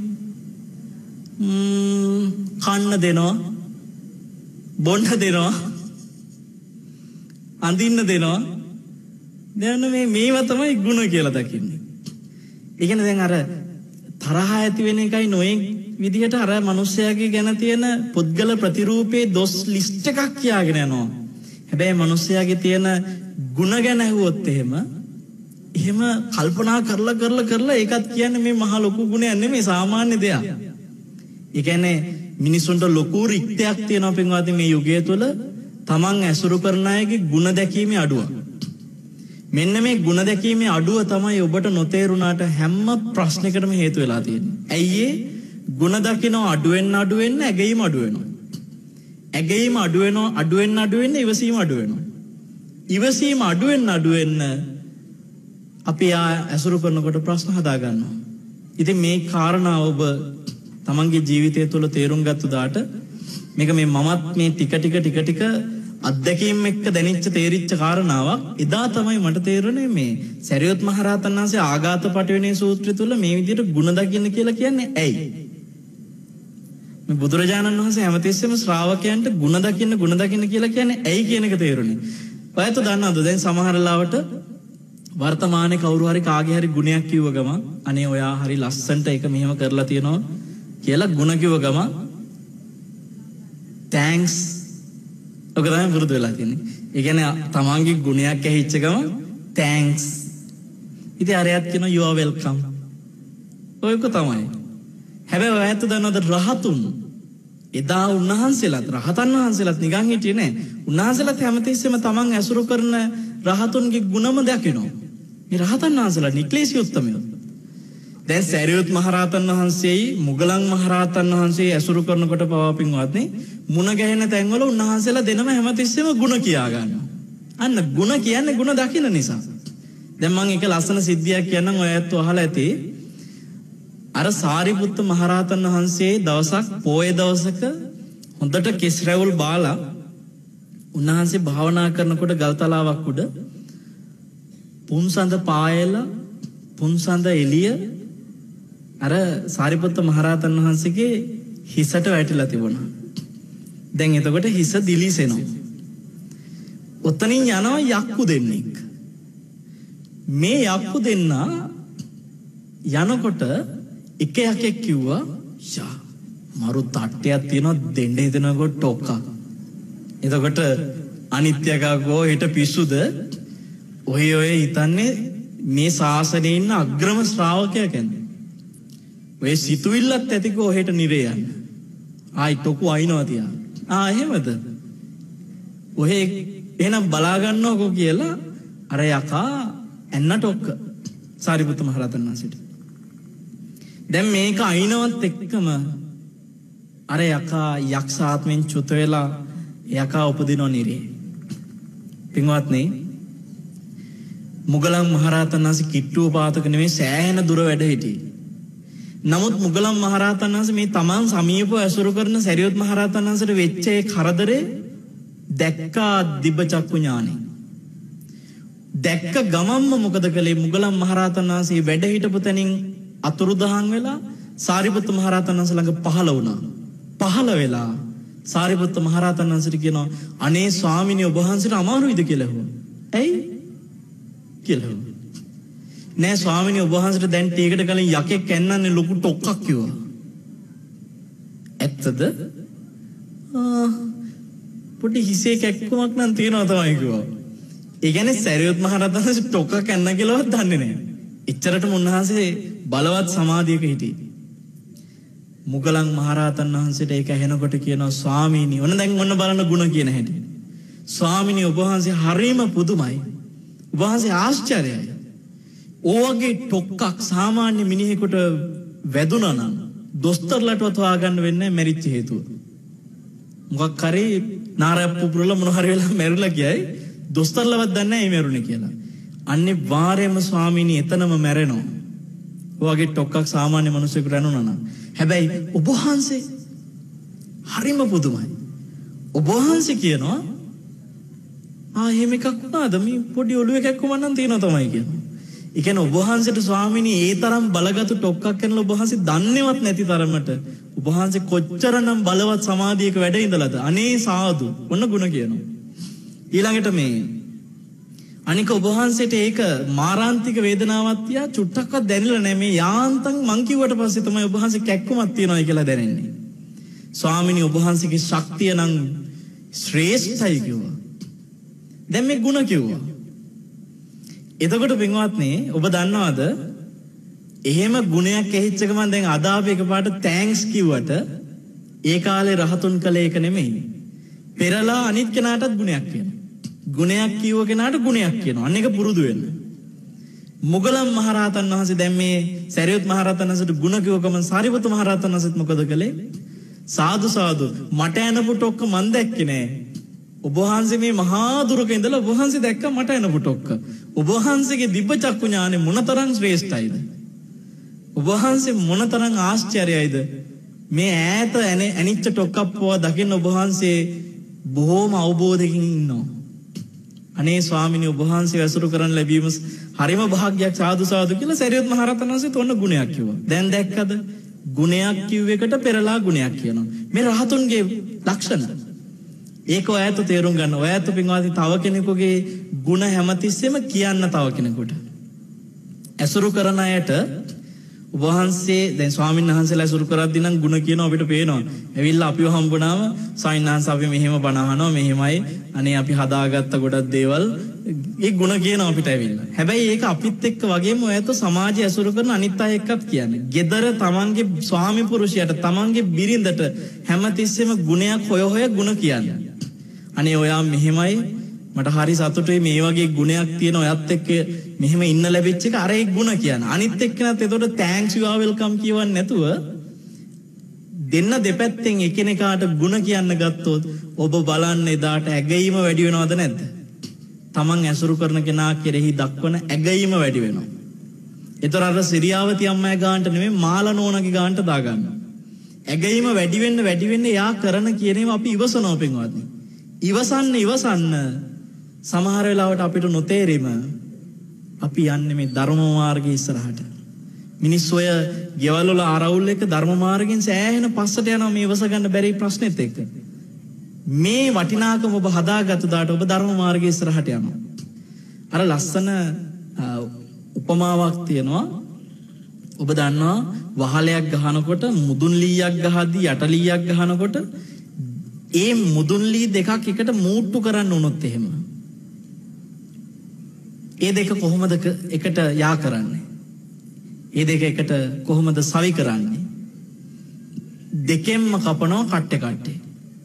නේද එකලීයකනුත් කට්ටයක් කපනවා අනිත්ලියනුත් කට්ටයක් කපනවා කට්ට දෙක කපල එකට තියෙනවා.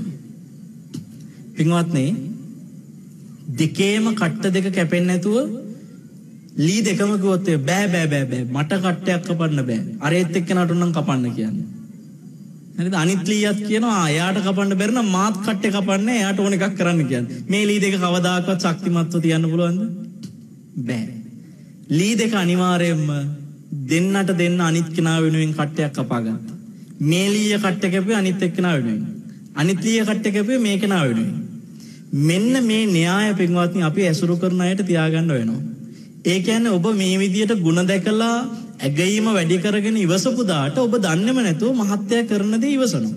ඒ කියන්නේ ඔබ කට්ටයක් කපා ගත්තා. ඒතර අරයටත් පේනවා මෙයා ඒක ඉවසපු හැටි හරි පුදුමයි පව්. දන්නේම නැතුව මනුස් ඒ මහත්යත් ඔබේ දෙයක් ඉවසන දවසක් වෙනවා. ඒ කියන්නේ එයාත් කට්ට කපා ගන්නවා. දෙන්නගෙම කට්ට කැපිච්ච දාට දෙන්න ශක්තිමත්. මේ න්‍යාය බුදුරජාණන් වහන්සේගේ ශ්‍රාවකයෝ එදා තියාගත්ත වැඩපිළිවෙලක්. අද අපි හැම දෙනා අතරම ප්‍රශ්න ආරවුල් ඇති වෙන තැන මේ ප්‍රශ්නේ. ඒ නිසා පින්වත්නි අපි පුරුදු වෙමු. අපි ඇසුරු කරන හැම කෙනෙකුගෙන් පුළුවන් තරම් හැමතිස්සෙම ಗುಣ කියන්න. ඒ ಗುಣ කීම පුංචි දෙයක් නෙමෙයි කියලා දැන් තේරුම් ගන්න. ඒ ಗುಣ කියන්න කියන්න අපි ඒ අය කෙරෙහි ඇගීම හදා ගන්නවා. ඇගීම වැඩි කරනවා. ඔබ ඇසුරු කරන සමීප සියලු දෙනා සමග ඔබේ සමගිමත් සිතක් තියෙන තාක්කල් ඔබේ හිතේ තියෙන පින්වත්නි සමාධියට සවිමත් හිතක්. මොකද මිනිස්සු අර සමගියක් නැති තැනක කවදාකවත් සමාධියක් වඩන්න බෑ. සමගිය තියාගත්තු තැන තමයි සමාධිය වඩන්න පුළුවන්. ඔබට මතක ඇති කොසබෑනුවර ප්‍රශ්න වෙච්ච වෙලාවේදී සංඝයා අසමගි වෙච්ච වෙලාවේදී සංඝයා බිඳිච්ච වෙලාවේදී බුදුරජාණන් වහන්සේ සමගි කරන්න උත්සාහ කළා කළා කළා කළා බෑ. දෙගොල්ලෝ බෙදිලා මේ වැසිකිලි බාල්දියක වතුර ටිකක් ඉතුරු වෙච්ච ප්‍රශ්නෙට. ප්‍රශ්න විසඳන්නම බැරි වුණා. ඊට පස්සේ බුදුරජාණන් වහන්සේ පාර්ලියේ වනයේට වැඩිය දන්නවනේ. ඒතර ඔය සිද්ධිය උදෙසා උන්වහන්සේ කොසබෑ නුවරදි ලස්සන සූත්‍රයක් කියලා දෙනවා.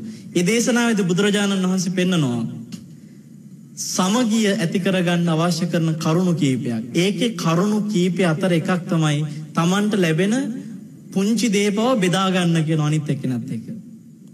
තමන්ගේ ලැබිච්ච කන බොන දෙයක් පවා අනිත් කෙනත් එක්ක බෙදා ගන්න. දැන් සංඝයාට තියෙනවා පින්වත්නි එහෙම සිරිතක්. පිණ්ඩපාතේ වැඩම කරලා ආවත් තමන්ගේ පාත්‍රයට ලැබිච්ච දෙයින් කොටසක් තව අනිත් ස්වාමීන් වහන්සේලාටත් කොටසක් බෙදලා දෙනවා. එහෙම බෙදා හදාගෙන ඉල්ලක් සංඝයා තුල තියෙනවා. මේ සමගියට හේතුව. ඊට පස්සේ ඉන්න තැන නැති තැන මෛත්‍රී සහගත කාය කර්ම තියාගන්න කිව්වා. ඉන්න තැන නැති තැන මෛත්‍රී සහගත වචී කර්ම.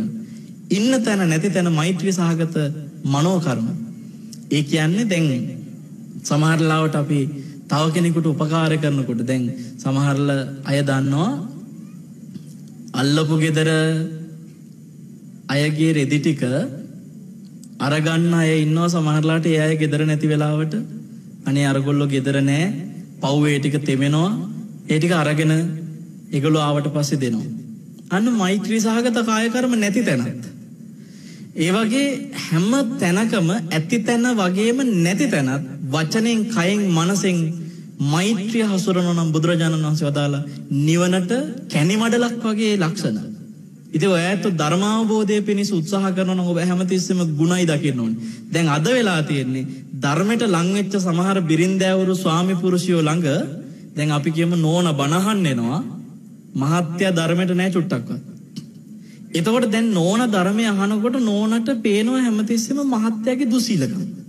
මහත්යාගේ ධර්මයට නැති කරුණ. දැන් එතකොට නෝන හැමතිස්සෙම මහත්යාගේ හොයන්නේ අර දෝෂ නේද? මේක මොන ලෝකේ යන්නද දන්නේ මෙහෙම මෙහෙමයි කියලා දොස්ම තමයි දකින්නේ. ඒතර මේ නෝන දන්නේම නැතුව නිවනින් ඈත් වෙනවා. ඔය කොසබෑ නුවර බුදුරජාණන් වහන්සේ වදාළ සූත්‍රයට අනුව බලනකොට එහෙනම් ඔබ තේරුම් ගන්න ධර්මයට නැති කෙනෙක් gedara ඉන්නවා නම් දුස්සීල කෙනෙක් gedara ඉන්නවා නම් ඒ දුස්සීලකම ගැන හිත හිත හිත හිත ඉන්න එක නෙමෙයි ඔබ කළ යුත්තේ එයාගේ මොන හරි ගුණයක් හිතන එක. ඔබටම නොදේරී යම් දවසක එයත් එයාගේ කට්ට කපාගෙන එයත් එයි ඔබත් එක්කම බනහන්න. හැම දෙනාටම අපි අද දවසේ මේ සිත්නේ තසපේද කියලා දුන්නු සමගිය පිණිස ඉවසීම පිණිස අනෙකාගේ ගුණ දැකීමෙන් ගුණ කතා කරමු කියන මේ කතිකාවත රට රට පුරා පතුරවන්නට නෙතෆම් නාලිකාව අද මේ සෙනසුරාදා සිත්නේ තසපුව ඔස්සේ සියලු දෙනාගේ සිත් තුළ සමගිය සතුට උදාවේවා කියන මෙත්සිත ඇති කරගෙන ඊටාම ආදරෙන් ගෞරවයෙන් අපි සිත්නෙත් අසපුවේ ශ්‍රාවක ශ්‍රාවිකාවන්ට සෙත් ප්‍රාර්ථනා කරනවා. ඔබේ සිත් හැමදාම සැනසේවා. ඔබේ සිත් නිවේවා. ඔබ හැම දෙනාකිම එකනෙකා මෙත්සිතින් ඇසුරු කරන වාසනාවන්ත පුුණ්‍යවන්ත සිත් ඇත්තෝ වෙත්වා කියලා ආශිරවාද ඉතිං අද දවසේද පින්වත්න්නේ පානදුරේ බෙක්කේගම අංක හතලිස් පහෙන් දොළහ නිවසෙහි පදිංචිව සිටින නවීන් තිලංග පෙරේරා කියන මේ පින්වන්ත මහත්තයාගේ බොහෝම සතුටු සිතින් දක්වපු දායකත්වයෙන් එතුමා යම් ප්‍රාර්ථනාවක් ඇතිකරගත්තනං ඒ සප්‍රාර්ථනා සියල්ලම එතුමට සඵල කරගන්නට ඒ කාන්තයෙන්ම මේ පින ආශිරවාදයක් බවටම පත්වේවා කියලා අපි ආශිරවාද කරනවා.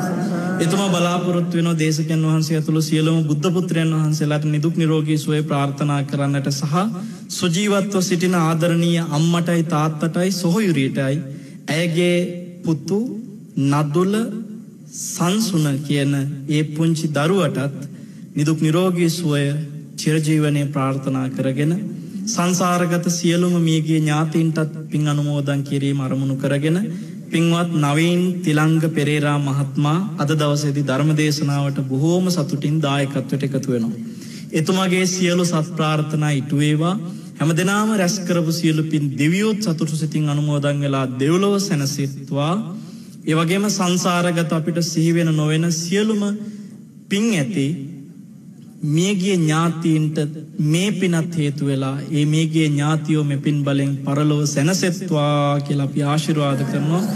ඒවගේම විශේෂයම පින්වත්නී අද දවස අපේ සිත්නය තසපුුව මේ හොරණ දික්කේන්පුර සීල ස්වාරණ භික්‍ෂු ගිලන් මධ්‍යස්ථාන පරිශ්‍රයඉඳල සජීවීව මේ මොහොතේ ඔබට දායාද කරද්දි මේ ධර්ම දායාදය පිටු පස ප්‍රධානම අනුශාසකයන් වහන්සේ මෙපමණ බොහෝ දෙනෙකොට පින් රැස් කරගන්නට සිත් පහල කරගෙන විටිං විට බොහෝ දෙනාගේ සිත් ධර්මයෙන් ප්‍රබෝධමත් කරන්නට ධර්මයෙන් ආලෝකමත් කරන්නට දිවාරෑ නොබල වෙහෙස මහන්සි වෙන අපි කවදත් ආදරය කරන අපගේ කල්්‍යාන මිත්‍ර ගලිගමේ ඥානදීප උතුම් බුද්ධපුත්‍රයාණන් වහන්සේට ඉතාම ආදරෙන් ඉතාම මෙත්සිතින් මේ පින ආශිරවාද කරනවා. යෝගේම අපේ මෙතන වැඩ සිටිනවා මැදිරිගිරේ පුං්ඥසාරාපේ පුුණ්‍යවන්තයන් වහන්සේත් ඉති මේ සියලු දෙනා වහන්සේටම වැඩම කරපු මෙහෙණින් වහන්සේලා ඇතුළු සියලු දෙනා වහන්සේටත් මේ උතුම් පින ධර්මාවබෝධය පිණිසම හේතුවාසනාවෙත්වා කියලාශිරවාද කරන. මේ පින්කමට සහ සම්බන්ධ වෙච්ච හැම දෙනාටම වගේම නෙතෆෙම් නාලිකාවේ අධිපති තුමන් ප්‍රධාන අපේ වරුණ මහත්‍යය දර්ශනය ඇතුළු සමීරය ඇතුළු මේ කාර්යමණ්ඩලේ සියලූම පින්නතුන්ටත් ආශිරවාද කරනවා නෙත් ශ්‍රාවක ශ්‍රාවිකාවන් වන ඔබ පින්වන්ත හැම දෙනාටමත් ගෞතම බුදු සසුනෙම ඒ උතුම් අමාමහ නිවන ඉක්මං කර ගැනීමටම මේ සියලුපින් හේතුවාසනාවෙත්වා කියලාශිරවාද කරනවා. ආකාසට්ටාච බුම්මට්හා දේවානාගා මහිද්දිකා පුඤ්ඥන්තන් අනුමෝදිත්වා චිරං රක්කන්තු ශාසනං චිරංරක්කන්තු දේශනං චිරංරක්කන්තු තුවං සද්ධාති සාධෝ සාධෝ සාධෝ. සෙලසුරාදා සිද්නෙත් අසපුයේ පළමු පැයේ ධර්මානු ශාසනාවයි එලෙස නිමාවට පත්වනේ හොරණ සීල ස්වාරණ ගිලන් භික්ෂූ මධ්‍යස්ථාන භූමේ වක්කුල සෑය ඉදිවෙන එපුුණ්‍යවන්ත බොහොමේ සිටයි අදවසේ අපි ධර්මානු ශාසනාව ඔබට සමිප කළේ. අපි දෙවන පෑටත් ප්‍රවේශ වී සිටින්නේ වෙනදාට ධර්ම සාකච්ඡාව ඇරඹෙන පැය අපි ඉක්මනින්ම බම්බල පිටිය ප්‍රධාන පාලක මැදිරියට ගිහිල්ලා ඉනික් පිටිව මේ පුණ්‍යවන්ත භූමියට ඒක රාශී වූ බොහෝ දෙනෙක් සිටින ඒ සෑම සියලු දෙනා අතරින් කිහිප දෙනෙකුට හෝ ධර්ම සාකච්ඡාවේදී දහම් ගැට ලිහන්නට අවස්ථාව උදා කර දෙන්නට බලාපොරොත්තු වෙනවා. ඒ අපේක්ෂාව ඇතිව බම්බලපිටිය ප්‍රධාන පාලක මැදිරියට යොමු වෙන අවස්ථාවේ පූජනීය වන්දනීය වල්පොල ගෞතම ස්වාමීන් වහන්සේට නිදුක් නිරෝගී චිරජීවනය වේවා දීර්ඝායුෂ ලැබේවා.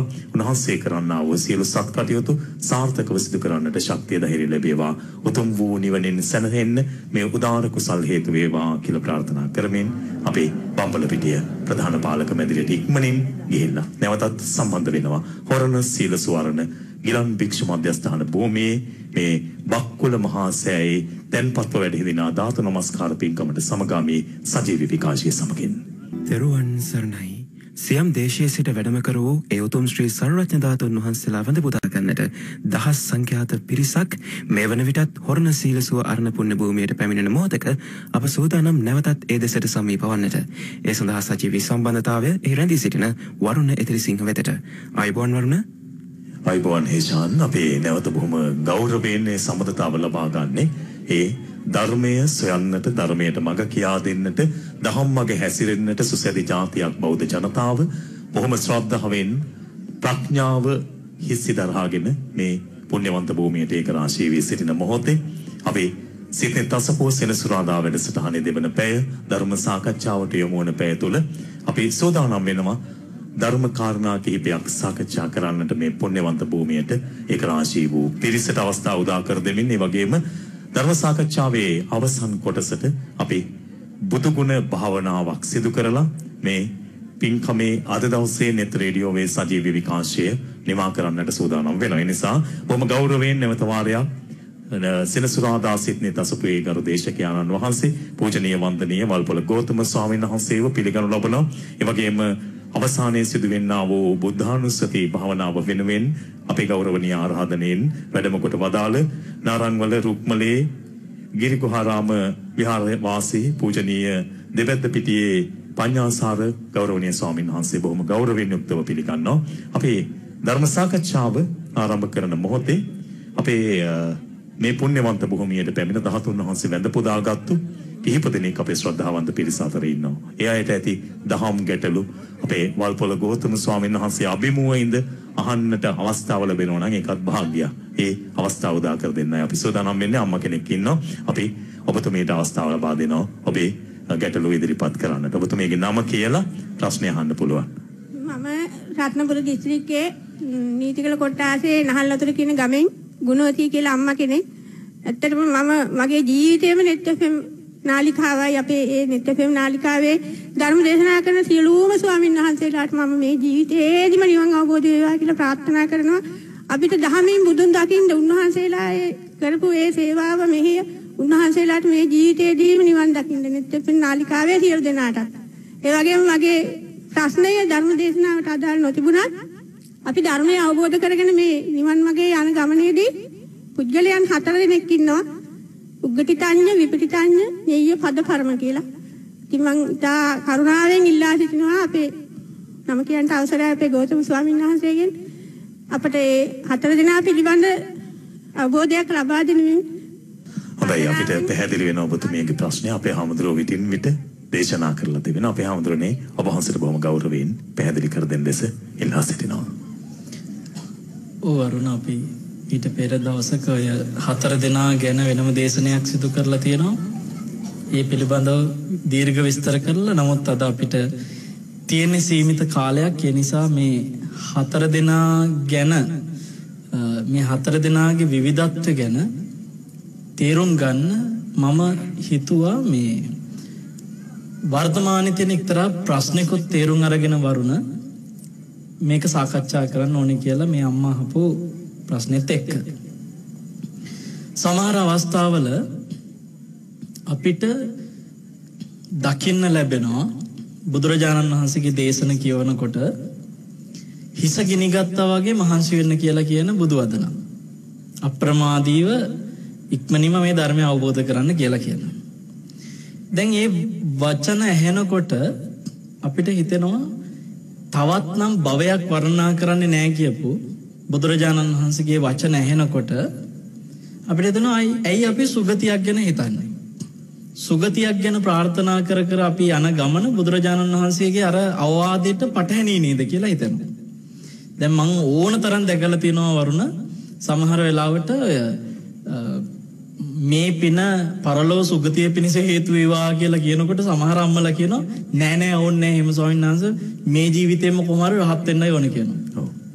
එතකොට දැන් මරණින් පස්සේ සුගතියක් ගැන හිතනවා කියන එකම ඒ අත්ව හිතාගෙන ඉන්නේ ප්‍රමාදයක් කියලා. එනිසා මේ ජීවිතේ රහත් වීම මිසක් වෙන කිසිවක් නැත කියලා හිතනවා. හැබැයි දැන් මේ කියන පුද්ගල හතර දෙනාගේ ස්වરૂපය ගැන පොදුවේ විස්තර කරොත් මේ කාලෙත් එක්ක මෙන්න මේ කාරණේ හොඳට ඔලුවට ගත යුතු දෙයක් තමයි සියලු දෙනාම එකසේ ධර්මාවබෝධය ලබන්න සුදුසු මට්ටමක නැත කියන එක.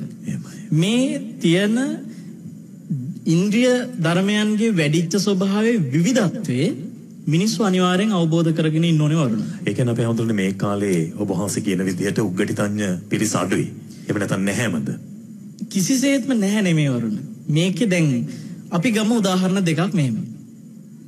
බාහ්‍ය දාරුචීරිය අපි දන්නවා එක මේ පුංචි වචන ටිකක් ඇහෙන සැනින් අරහත්තටපත් වෙනවා. එහෙමයි. මහා වෙලාවක් ගියේ නෑ වරුණ. භාවනා කර කර ධ්‍යාන දියුණු කර කර සමාධිය වඩ වඩ සෑහෙන කාලයක් තිස්සේ ධර්මය හා මහන්සි වෙච්ච කෙනෙක් නෙමෙයි. එතකොට මේ දේශනාවක් ඇහෙන සැනින්ම අවබෝධ කරා. හැබැයි අපි දන්නවා ආනන්ද හාමුදුරුවෝ අවුරුදු 25ක කාලයක් බුදුරජාණන් වහන්සේට උපස්ථාන කරපු කාලේ පුරාම වරුණ බුදුරජාණන් වහන්සේ කරන්නේ කොතන හරි යම් දේශනාවක් සිදු වුණොත් ඒ සියල්ල නැවත ආනන්ද ස්වාමීන් වහන්සේ දැනගන්නවා. ධර්ම භාණ්ඩාගාරිකයන් වහන්සේ. බාණ්ඩාගාරේ. එතකොට උන්වහන්සේ අවුරුදු 25ක් තිස්සේ ඒ කාලය තුල තථාගතයන් වහන්සේගේ අවුරුදු 45ක කරපු සියලුම දේශන ටික දරා ගන්නවා. එහෙමයි. ඒ කියන්නේ තථාගතයන් වහන්සේ පිරිනවම් පානකොට උන්වහන්සේ වදාළ සියලුම දේශනා ආනන්ද ස්වාමීන් වහන්සේ දරාගෙන හිටියා. එහෙම දරාගෙන ඉඳලත් වරුණ අපි දන්නවා මාස තුනකින් ඇවෑමෙන් එන සංගායනාවට උන්වහන්සේ නික්ලේසී රහතන් වහන්සනමක් විදියට සහභාගි වෙන්න තියෙනවා.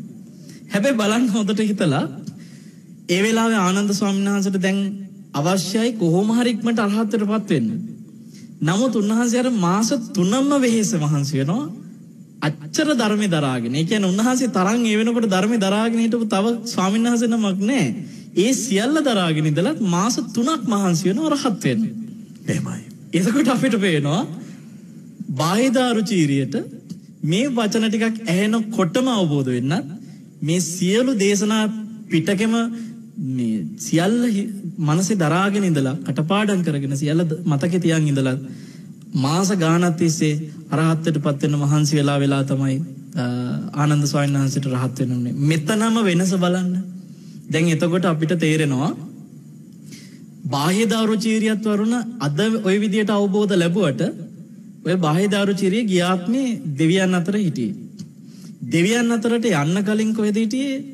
කාශ්‍යප බුද්ධ ශාසනයේදී මහානදම් පුරපුර. ඒ කාලේ වරුණ මේ දැන් මේ කාලේ වගේ තමයි බුදුරජාණන් වහන්සේ පිරිනිවන් පාලා නමුත් සංඝයා ධර්ම මාර්ගය හොඳට සාකච්ඡා කරන කාලයක්. අපිට මතකයි එතෙන්දී මේ බාහ්‍ය දාරුචීරියත් එක්කම කුමාර කාශ්‍යප ස්වාමීන් වහන්සේ පුක්කුසාති ඒ වගේම අ, එතන පුන්න ස්වාමීන් වහන්සේ දබ දබමලපුත්ත මේ ස්වාමීන් වහන්සේලා කීප නමක්ම පුක්කුසාතිත් ඇතුළුව ඒ සියලු දෙනා වහන්සේම එදා ගල්තලාවක් උඩට නැග්ගා තවත් අ, වීරියවන්ත පුණ්‍යවන්ත ස්වාමීන් වහන්සේලා දෙනමකුත් ඔක්කොම හත් නමක්. මේ කිව්ව පස් නමයි ඔක්කොම හත් නම හත් නමම ගල්තලාව උඩට නැගලා මේක දන්න කතාව කිටින් මතක් කරොත් එහෙම ඉනිමග පවා පෙරළුවේයි නැවත බඩගින්නක් ආවට පස්සේ බහින්න නැතුව කොහොම හරි මේ ගල ගල්තලාව මුදුනේම රහත් වෙන්න ඕනේ කියලා වරුණ එතෙන්දී එක ස්වාමීන් වහන්සේ නමක් විතරයි අරහත්ත්වයටපත් වෙන්නේ නේ එහෙමයි. එතකොට එක ස්වාමීන් වහන්සේ නමක් විතර කනාගාමි වෙනවා. අනිත් ස්වාමීන් වහන්සේලා පස් නමට කිසිම මාර්ගඵලයක් ලැබුණේ නැහැ. දැන් මෙතෙන්දී අපිට තේරෙනවා අර ස්වාමීන් වහන්සේලා පස් නමට මාර්ගඵල නොලැබුණේ උන්වහන්සේලා ධර්මාවබෝධයට අවශ්‍ය විදියට හරියට ධර්මය දැනන් හිටියේ නැහැ කියලා කියන්න බෑ. මොකද එතන එක නමක් රහත් වෙනවා කියන්නේ මේ එකට සාකච්ඡා කරගෙන හිටපු ස්වාමීන් වහන්සේලා. එහෙනම් මේ හත් නම දරාගෙන හිටපු ධර්මයේ වරදක් නැහැ. එහෙම වරදක් තිබිච්ච හින්දා මේ පස් නමට මාර්ගඵල නොලැබුණා නම් අනිත් දෙනමක් අතන මගඵල ලබන්නෙත් නැහැ. එතකොට දැන් හිතන්න එකට අච්චර වීරිය කරලා හිස ගිනි ගත්තා වගේ ස්වයන්නාසලා හත් නමම වීරිය කළා. අනිවාර්යෙන් තමන්ගේ හිස ගිනි ගත්තා වගේ කියලා කියන එකටත් එහා ගන්න අපිට හිතනවා ගල්තලාව මුදුනේ ඉන්නකොට දැන් බඩගිනි ඇති දවස් ගානක් තිස්සේ නොවලදායිද්දි රහත් වෙච්ච ස්වාමීන් වහන්සේ පිණ්ඩපාතේ වැඩම කරලා ඉරිදියෙන් උන්වහන්සේ දාන ටික ගෙනත් දෙනකොට අර හය නමම කිව්වේ ඔබ වහන්සේ දැන් රහත් වුණා දැන් ওই දානේ අපිට ගෙනල්ලා දීලා ඔබ වහන්සේ අපිව ප්‍රමාද කරනවා ඒ ඒ නිසා ස්වාමීනි දාන එපා කිව්වා එතකොට ඒ වෙලාව මහා තද බඩගින්නක ඉන්න වෙලාවක එහෙම ප්‍රතික්ෂේප කරන්නේ. එච්චර වීරිය කරලත් අපිට පේනවා මොකද උනේ කියලා. මෙතෙන්දී ආ, පස් නමක් ධර්මාවබෝධය නොලබාම වීරිය කරලා කරලා හේමම ගල්තලා මුදුනේ අපවත් වෙලා දෙවියන් අතරට ගිහිල්ලා මේ ගෞතම බුද්ධ ශාසනයේදී ඔන්න මාර්ගඵල ලබනවා. එතකොට එතෙන්දී දැනෙන දේ තමයි වරුණ මේ සියලු දෙනා වහන්සේ අතරේ ගෞතම බුදු සසුනේ විශේෂ අග්‍රස්ථාන ප්‍රාර්ථනා කරගෙන ආපු චරිත මෙතන වැඩ ඉන්නවා. එතකොට ඒ අග්‍රස්ථාන ප්‍රාර්ථනා කරගෙන ආපු බවවත් අර ගල්තලා මුදුනේ වීරිය කරනකොට දැනන් හිටියේ නෑ. ඉතින් අදට උනත් අපි දන්නේ නෑ සමහරලාට අපි හිසගිනි ගත්තා වගේ වීරිය කරනවා කියලා වීරිය කරන කරන අය අතරේ උනත් ප්‍රමාදව යන අය අතරේ උනත් මේ හතර මේ ඉන්න පුද්ගල විවිධත්වය අනිවාර්යෙන් තියෙනවා. ඉතින් ඔතෙන්දී ධර්මාවබෝධය මේ ජීවිතේම ලබන්න සුදුසු චරිත සහ මේ ජීවිතේම ධර්මාවබෝධය ලබන්න බැරි චරිත විවිධ චරිත අපි හැමදෙනා අතරෙම තියෙනවා ඔය හතර ආකාරෙම. මේකෙදි කොහොමද මම කවුද කියලා තේරුම් ගන්න එක තමයි දැන් ඊළඟ ප්‍රශ්නේ තියෙන්නේ. මං ඔතන කවුරු කොහොමද කියන එක. මම මේ ජීවිතේම මාර්ගඵල ලබන්න පුළුවන් කෙනෙක්ද මට ධර්මයේ තේරුම් ගන්න බැරි මට්ටමක කෙනෙක්ද? මට අ, මේ ධර්මය පරිපූර්ණ අවබෝධ කරන්න බැරි වුණත් අඩුතරමේ සෝවාන්වත් වෙන්න පුළුවන් මට්ටමේද? මොකද්ද තමන්ගේ தත්ත්වය කියලා තමන්ට දැන් අර පාරමිතා කතා කරනකොට සමහරවිට එතනවා මගේ පාරමිතා කොච්චර පිරීලා ඇද්ද? මේ වගේ ප්‍රශ්නවලදී ඔබට කියන්න තියෙන පින්වත්නි සමහර වෙලාවට ඔයත් හිතන්න. අද ඇතැම් විට ධර්මාවබෝධයට සුදුසුම නැති මට්ටමක කෙනෙක් ඉන්නවා කියමු. එයා තාම මාර්ගඵලයක් ලබන්න සුදුසු මට්ටමක නැහැ. හැබැයි තථාගතයන් වහන්සේගේ අවවාදය එයාටත් වීරිය කරන්න කියලා හිසගෙන ගත්තා වගේ. ඇයි හේතුව? එයා තාම මාර්ගඵල අවබෝධයට අතීතයේ ආත්මවල ධර්මයේ පුරුදු පුහුණු කරලා නැත්තම් මේ ජීවිතේ පුරුදු පුහුණු කරනකොට එයාට මේ ජීවිතේ ඇති වෙනවා අර පුරුද්ද. එතකොට එහෙනම් අතීතේ පුරුදු කෙනත් මේ වෙලාවේ මාර්ගේ වඩන්න ඕනේ අතීතේ පුරුදු නැති කෙනත් වඩන්න ඕනේ. එතකොට පුරුදු කෙනාට මේ වෙලාවේ අවබෝධ වෙන්න පුළුවන් පුරුදු නැති කෙනාට තවදුරටත් ඒ අත්දැකීමක් වෙලා ධර්ම අවබෝධය ඊළඟ ජීවිතේක හෝ ඒ ධර්ම අවබෝධය ලබන්න සුදුසුකම හැදෙනවා. ඉතින් ඒ නිසා මේ පුද්ගල විවිධත්ව ගැන හොයන්නෙම මම දන්නවා උතනදී තියෙනවා ප්‍රශ්නේ අර මම උතන කවුද දන්නේ නැහැ කියන එක. ඉතින් ඒකෙන්ද එක දෙයක් කියන සමහරලාට මේ වගේ පින්කම් කරනකොට මේ අද ධාතුන් වහන්සේලාට ගෞරවයෙන් වන්දනා කරලා බොහෝ පින් රැස් කරන පිරිසක් ඉන්න නිසායි වරුණ මේක කියන්නේ. සමහරු මේව ප්‍රතික්ෂේප කරනවා නිවන ගැන දැඩිව හිතන. පදපරම කට්ටිය. ඔව් පදපරමයි හිතාගෙන ඉන්නේ මේ. ඕකත් දැන් අර පද කඩල වෙන් කරගෙන කතා කරන එකක් කියලා අපිට කාලේ නෑ වරුණෝ ඒක ගැන විස්තර කරන්න. එතකොට මේ බෙදාගෙන හදාගෙන තියෙන පද පරමයට සමහරලාට හිතෙන්නේ මේ ඔය පින් කර කර යන ධාතුන් වහන්සේලා වන්දනා කර කර යන කුසල් කියන ඕව නෙමෙයි කරන්න ඕනේ මේ වෙලාවේ. කොහොම හරි මේකට භාවනා කරන එක. ඔය පූජාවල් කර කර ඉඳලා හරියන්නේ නැහැ කියනවා. එතකොට ඒ ඇත්ත තීරුම් ගත යුතු දේ තමයි අර ගල්තලාව මුදුනේ හිටපු ස්වාමීන් වහන්සේලා හිසගිනි ගත්තා වගේ භාවනා කරනකොට පින්වත්නි එතෙන්දී සුගතියක් එපා අපිට සුගතියක් එපා කිය කිය සුගතියට ගරහා කර කර හිටියානම් එතකොට මොකද වෙන්නේ? අන්තිමට අර පස්නම ගියේ සුගතියෙම නේද? සුගතියට ගරහා කරනවා කියන එක තැනම පිනට ගරහා කරනවා කියන තැනම ඒත් පදපරම වෙන්නේ නැහැ. ඒත් මිත්‍යා දෘෂ්ටිකයෝ වෙනවා.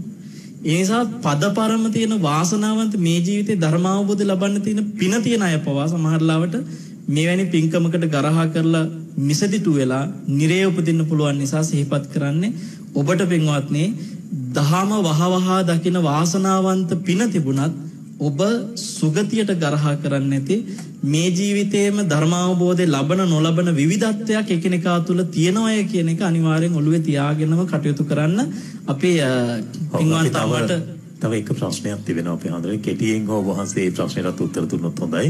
ඔබතුමා ඉක්මනින් කෙටියෙන් ප්‍රශ්නය අහන්න ඔබට අවස්ථාව ලබා දෙන්න. අවසරයි අපේ හඳුනේ මම කෑගල්ලේ මල්මඩුවේ නවරත්න මට ඔබ වහන්සේ මා කෙරේ අනුකම්පාවෙන් මේ පිළිතුරු ප්‍රශ්න ලබා පිළිතුරු ලබා දෙන ලෙස ගෞරවයෙන් ඉල්ලා සිටිනවා. මට ප්‍රශ්නේ හම්දුරනේ අපි හැමෝටම මේ භවයෙන් සෝවාන් ඵලයටපත් වෙන්න අමාරුයි. ඒ වුණත් අපට සෝවාන් මාර්ගයටවත් එන්න ඒ ඒ ඇවිදින් ඒ මාර්ගය අකණ්ඩව අපිට සසර පුරාට පවත්වාගෙන යාමට අප විසින් කළ යුත්තේ කුමක්ද කියන එක මේ මේ අවස්ථාවේදී වහන්සේට දීර්ඝ දේශනයක් වෙන්න පුළුවන්. කෙටියෙන් හෝ අපට පිළිතුරු ලබා දෙන ලෙස මම ඉතා බෑවත ගෞරවපූර්වක වහන්සේගේ අපිට පැහැදිලි වෙනවා ඔබතුමායි ප්‍රශ්න. වරුණ දැන් ওই ප්‍රශ්න ඔක්කොම පොදු තනි කතාවක්. ඒ නිසාම තමයි මම අර ටිකත් කිව්වේ අර විදියට අර අම්මාර ප්‍රශ්නේ අහන හේතුව මම දන්නවා. ඒ වගේම මෙතුමා මේ ප්‍රශ්නේ අහන්නෙත් ඕකටම දැන් අපි අර දුන්න උත්තරය ඇතුළේ තියෙනවා. ඒ වගේම මේ පොඩි වොමනාවකුත් තිබෙනවා ධර්මයේ මේ දකින්න. තියෙන්නේ ධර්මාවබෝධය කරේ තියෙන ඕමනාව. මම මේ මෙතන ක- කොයි පුද්ගලයාද මට ධර්මය අවබෝධ වෙයිද මේ ප්‍රශ්නේ තියෙන හින්දා තමයි මම මේ මේ උත්තරේ දුන්නේ. ඒ උත්තරේ ඇතුලේ මම හිතනවා මේ තාත්තට අවශ්‍ය උත්තරේ තියෙනවා. දැන් මේ තාත්තා කිව්වා අපි හැම කෙනාටම මේ ජීවිතේ සෝවාන් වෙන්නවත් සමහරවිට බැරි වෙවි කියලා. නෑ ඒ වචනේ අනිවාර්යයෙන්ම අපි ප්‍රතික්ෂේප කළ යුතු වචනයක්. මොකද හේතුව මෙතන සෝවාන් වෙන්න සකදාගාමීන් අනාගාමීන් ඕනතරම් පින තියෙන අය ඇති. වරුණ මතක ඇති ඔබට අර එක්තරා මහත්තයෙක් බුදුරජාණන් වහන්සේ ළඟට ඇවිල්ලා ධර්ම සාකච්ඡා කර කර උන්වහන්සේගෙන් දේශනයක් අහගෙන ඉන්නකොට මේ මහත්තයා එකපාරට කිව්වා අනේ ස්වාමීනි අපිට හරියට වැඩ තියෙනවා. දැන් මේ මහත්තයා එකපාරට වැඩ මතක් වුණා. රස්සා කරන්න තියෙන ව්‍යාපාරවල වැඩ. මට මේ තව වෙලා ඉන්න බෑ ස්වාමීන් වහන්සේ. වෙලා ටයිම් එතනත් ආවේ ටයිම් ප්‍රශ්නයක් වරුණ. අපිට වගේ. ඔව් මහත්තයා කිව්වා තව බෑ ස්වාමීන් වහන්සේ භාග්‍යතුන් වහන්සේ ඉන්න. මට යන්න තියෙනවා ගොඩක් වැඩ තියෙනවා. මං ගිහින් එන්නම් කිව්වා බුදුරජාණන් වහන්සේ මතක් කළා ඔබ මේ වෙලාවේ සුදුසු දේ ඔබට හොඳයි කියලා හිතන එක කරන්න කිව්වා. එතකොට දැන් අර මහත්තයා එහෙනම් එන්නම් ස්වාමීනි කියලා වැඳලා ගියා. බුදුරජාණන් වහන්සේ සංඝයාට කියනවා මහණෙනි අන්න අර මහත්ය තව චුට්ටක් හිටියනම් සෝතාපන්න වෙනවා කිව්වා. ඒ කියන්නේ සෝතාපන්න වෙන්න අවශ්‍ය මෝරපු ඉන්ද්‍රිය මට්ටම එන්න ඔන්න මෙන්න. මෙයා නැගිටලා ගියේ. කාලේ ප්‍රශ්නේ ඇවිල්ලා. ඒ වගේ අපිට උනත් වරන සමහරලාවට අටට බණ ඉවර කරනකොට සමහරට ධර්මාවබෝධය පිණිස දේශනයක් කරගෙන යන කෙනාට අපි අට වෙනකොට ඉවර කරන සමහරට එයාගේ ඉන්ද්‍රිය ධර්මාවබෝධයට වැඩෙන මට්ටම අටයි කාලටද දන්නේ. නමුත් අපි තථාගතයන් වහන්සේ දායක දන්නවා උන්වහන්සේ ඒ නිසා ඒ සුදුසු මට්ටමට ධර්මයේ කියන. හැබැයි දැන් මේ මහත්යට උනේ හරි අවාසනාව. දැන් මේ මහත්යට බැරි වෙලා හරි භාග්‍යතුන් වහන්සේ කිව්වන්න. දැන් අපිට හිතෙනවා අපරාධිතින් ඔක තථාගතයන් වහන්සේට යාට කියන්න තිබ්බේ මහත්යෝ තව චුට්ටක් ඉන්න තව චුට්ටක් හිටියොත් සෝවන් වෙනවා කියලා කියන්න තිබ්බනේ කියලා හිතෙනවා. එහෙම කිව්වනම් අර මිනිස්සයා අනිවාර්යෙන් තියෙන වැඩ පැත්තක දාලා සෝවන් වෙනවා නම් ඉන්නවා කියලා ඉන්නවමයි. හැබැයි ඉන්නේ ඊට පස්සේ ධර්මයේ කෙරෙහි එකක හිතකින් නෙමෙයි. දැන් එහෙනම් සෝවන් නේද? දැන් සෝවන් නේද? කෝ තාම නෑනේ සෝවන්, තාම නෑනේ සෝවන්. අර වැඩෙත් තියෙනවා තාම සෝවන් වුනේත් නෑ. මේ විසිරිල්ල. ඒ නිසා තථාගතයන් වහන්සේලා එහෙම කවදාකවත් කියන්නේ නෑ. අනිත් කාරණේ තමයි ඒක නොකියා නිකන් ඉන්න කිව්වොත් එහෙම. ඒ කියන්නේ අ, සෝවාන් වෙන බව කියන්නේ හැබැයි මහත්යෝ චුට්ටක් ඉන්න කිව්වනම් එහෙම එතකොට බුදුරජාණන් වහන්සේ වදයක් කරගන්නවා. මොකද්ද මන් දන්නේ උන්වහන්සේ මේ මට මේ වැඩ තියෙනවා කිය කියද්දි තින්න කියනවා කියලා තථාගතයන් වහන්සේගේ යම් ගැටීමක් එන්න පුළුවන්. ඒ නිසා කවදාකවත් තථාගතයන් වහන්සේලා එහෙම කියන්නේ නැහැ. ඒක හින්දා මම මේ මහත්යට මතක් කරනවා ධර්මාවබෝධය පිණිස වීරිය ඇති කරගන්න මේ දේශන නිතර ශ්‍රවණය කරමින් සිහිය පවත්වන්න. හැබැයි සෝතාපන්න ඵලයට පත් වෙනවා කියන ඉන්ද්‍රිය ධර්ම වැඩිච්ච මට්ටමේ කෙනෙක් අද මේ මොහොතේ මේ ශ්‍රවණය කරන තැනත් ඉන්න පුළුවන්.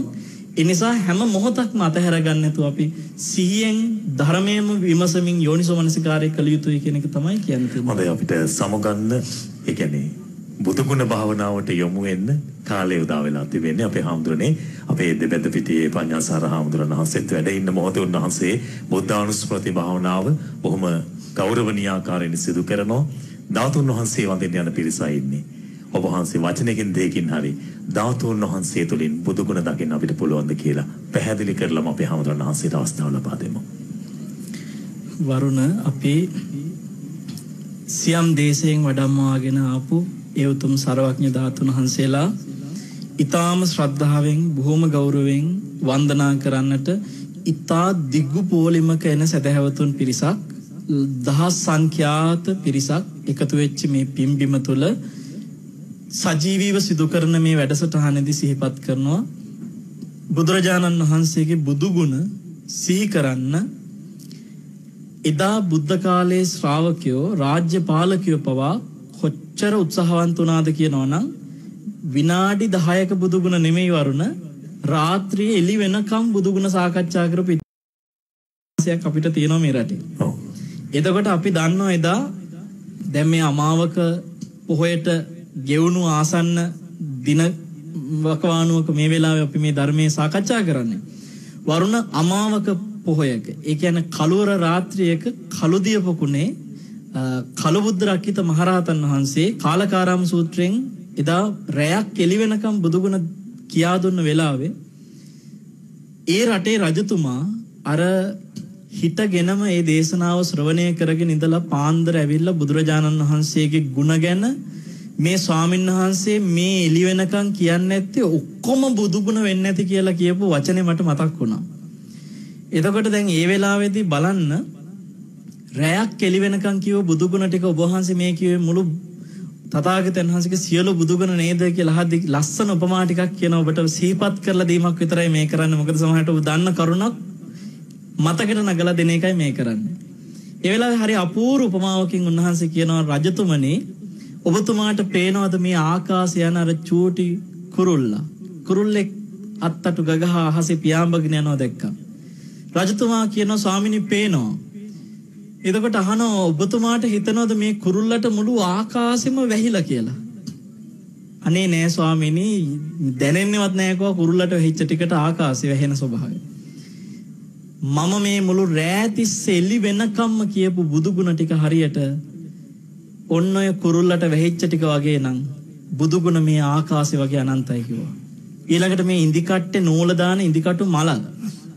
ඈ ඒ පැත්ත ගඟකට ඔබනවා ඉන්දිකටු තුඩෙන් අල්ලගෙන. ඒ තුඩෙන් අල්ලගෙන ගඟට ඔබලා ඔබපු ගමම ගන්නවා. අහනවා රජතුමාගෙන් රජතුමනි එතකොට අර ඉන්දිකට්ටේ මල ඇතුලෙන් අර චූටි සිදුරු අස්සෙන් මුළු ගංගම ඒ වෙලාවේ ගැලුවා කියලා ඔබතුමාට හිතනවද කියලා අහනවා. අනේ ස්වාමිනේ සිදුරු අස්සෙන් ගලපු දිය බිඳ කොච්චරක්ද කියලාවත් හිතාගන්න බැරි තරම් චුට්ටයි කිව්වා.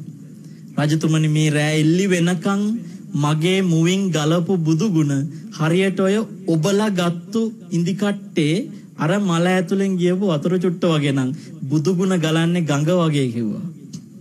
එතකොට වරුණ මේ රැයක් තිස්සේ කියපු බුදුගුණ අර චුට්ට කියන්නේ.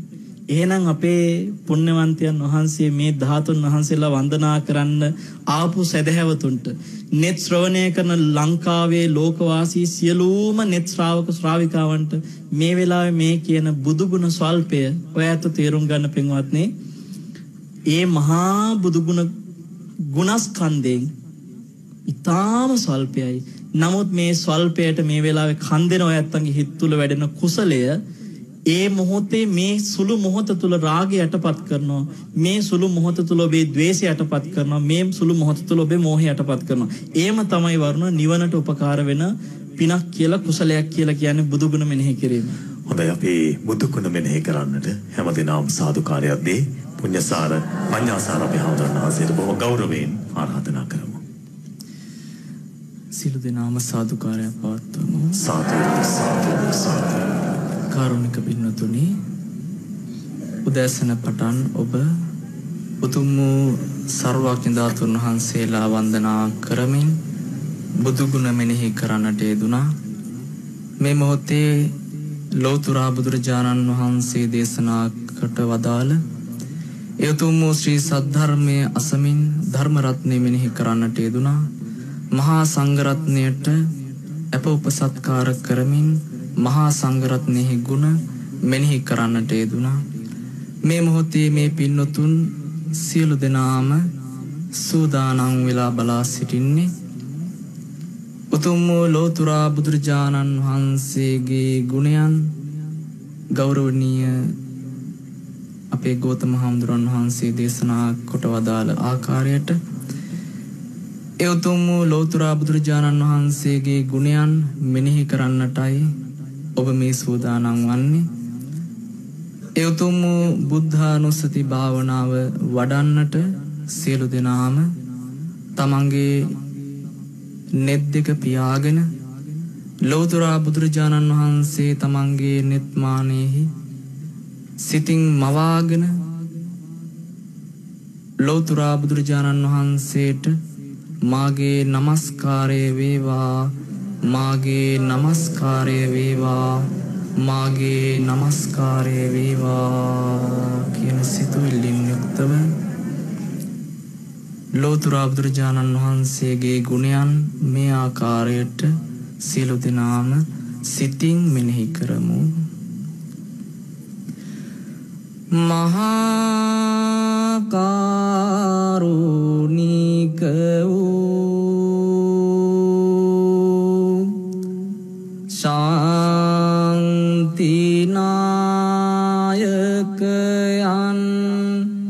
වහන්ස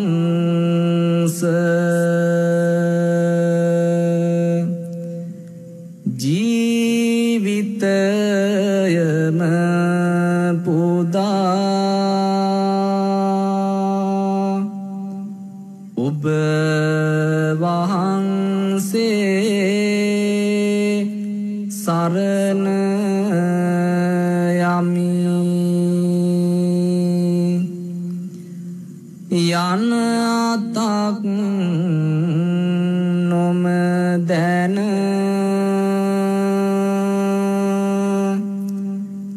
ක්ලේශ වාසඟයට හසු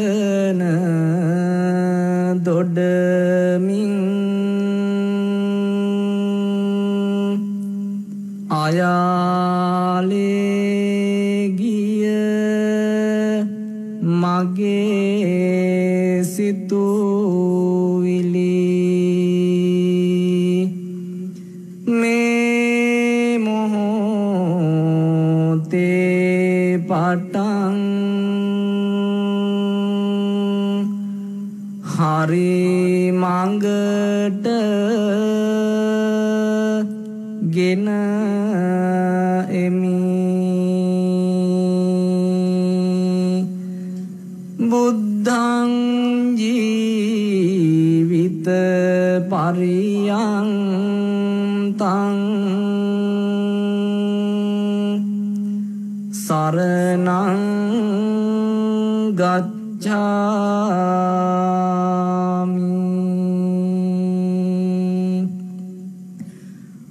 මගේ දිවි දෙවැනි කොට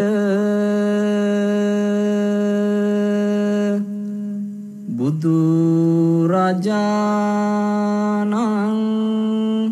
සරණ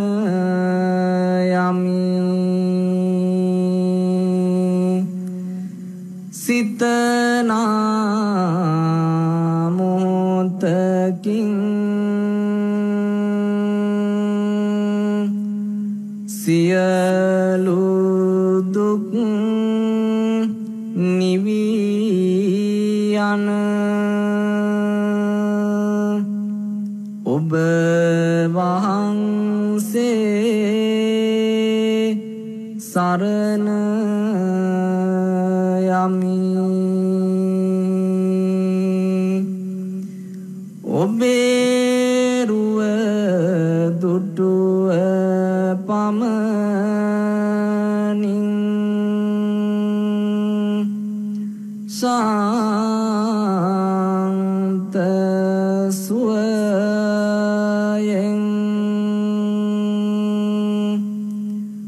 සිත පිරියයි.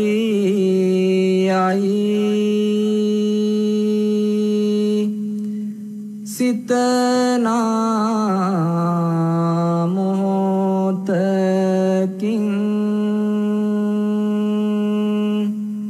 සිතට සහනය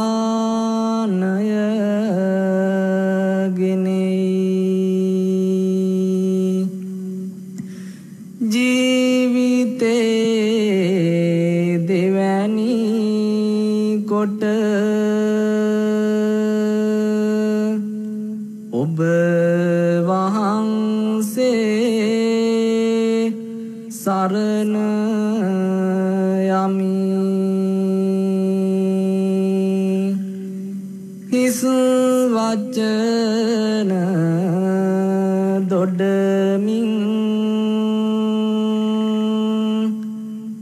නිසරුදේ ගැන සිතමින්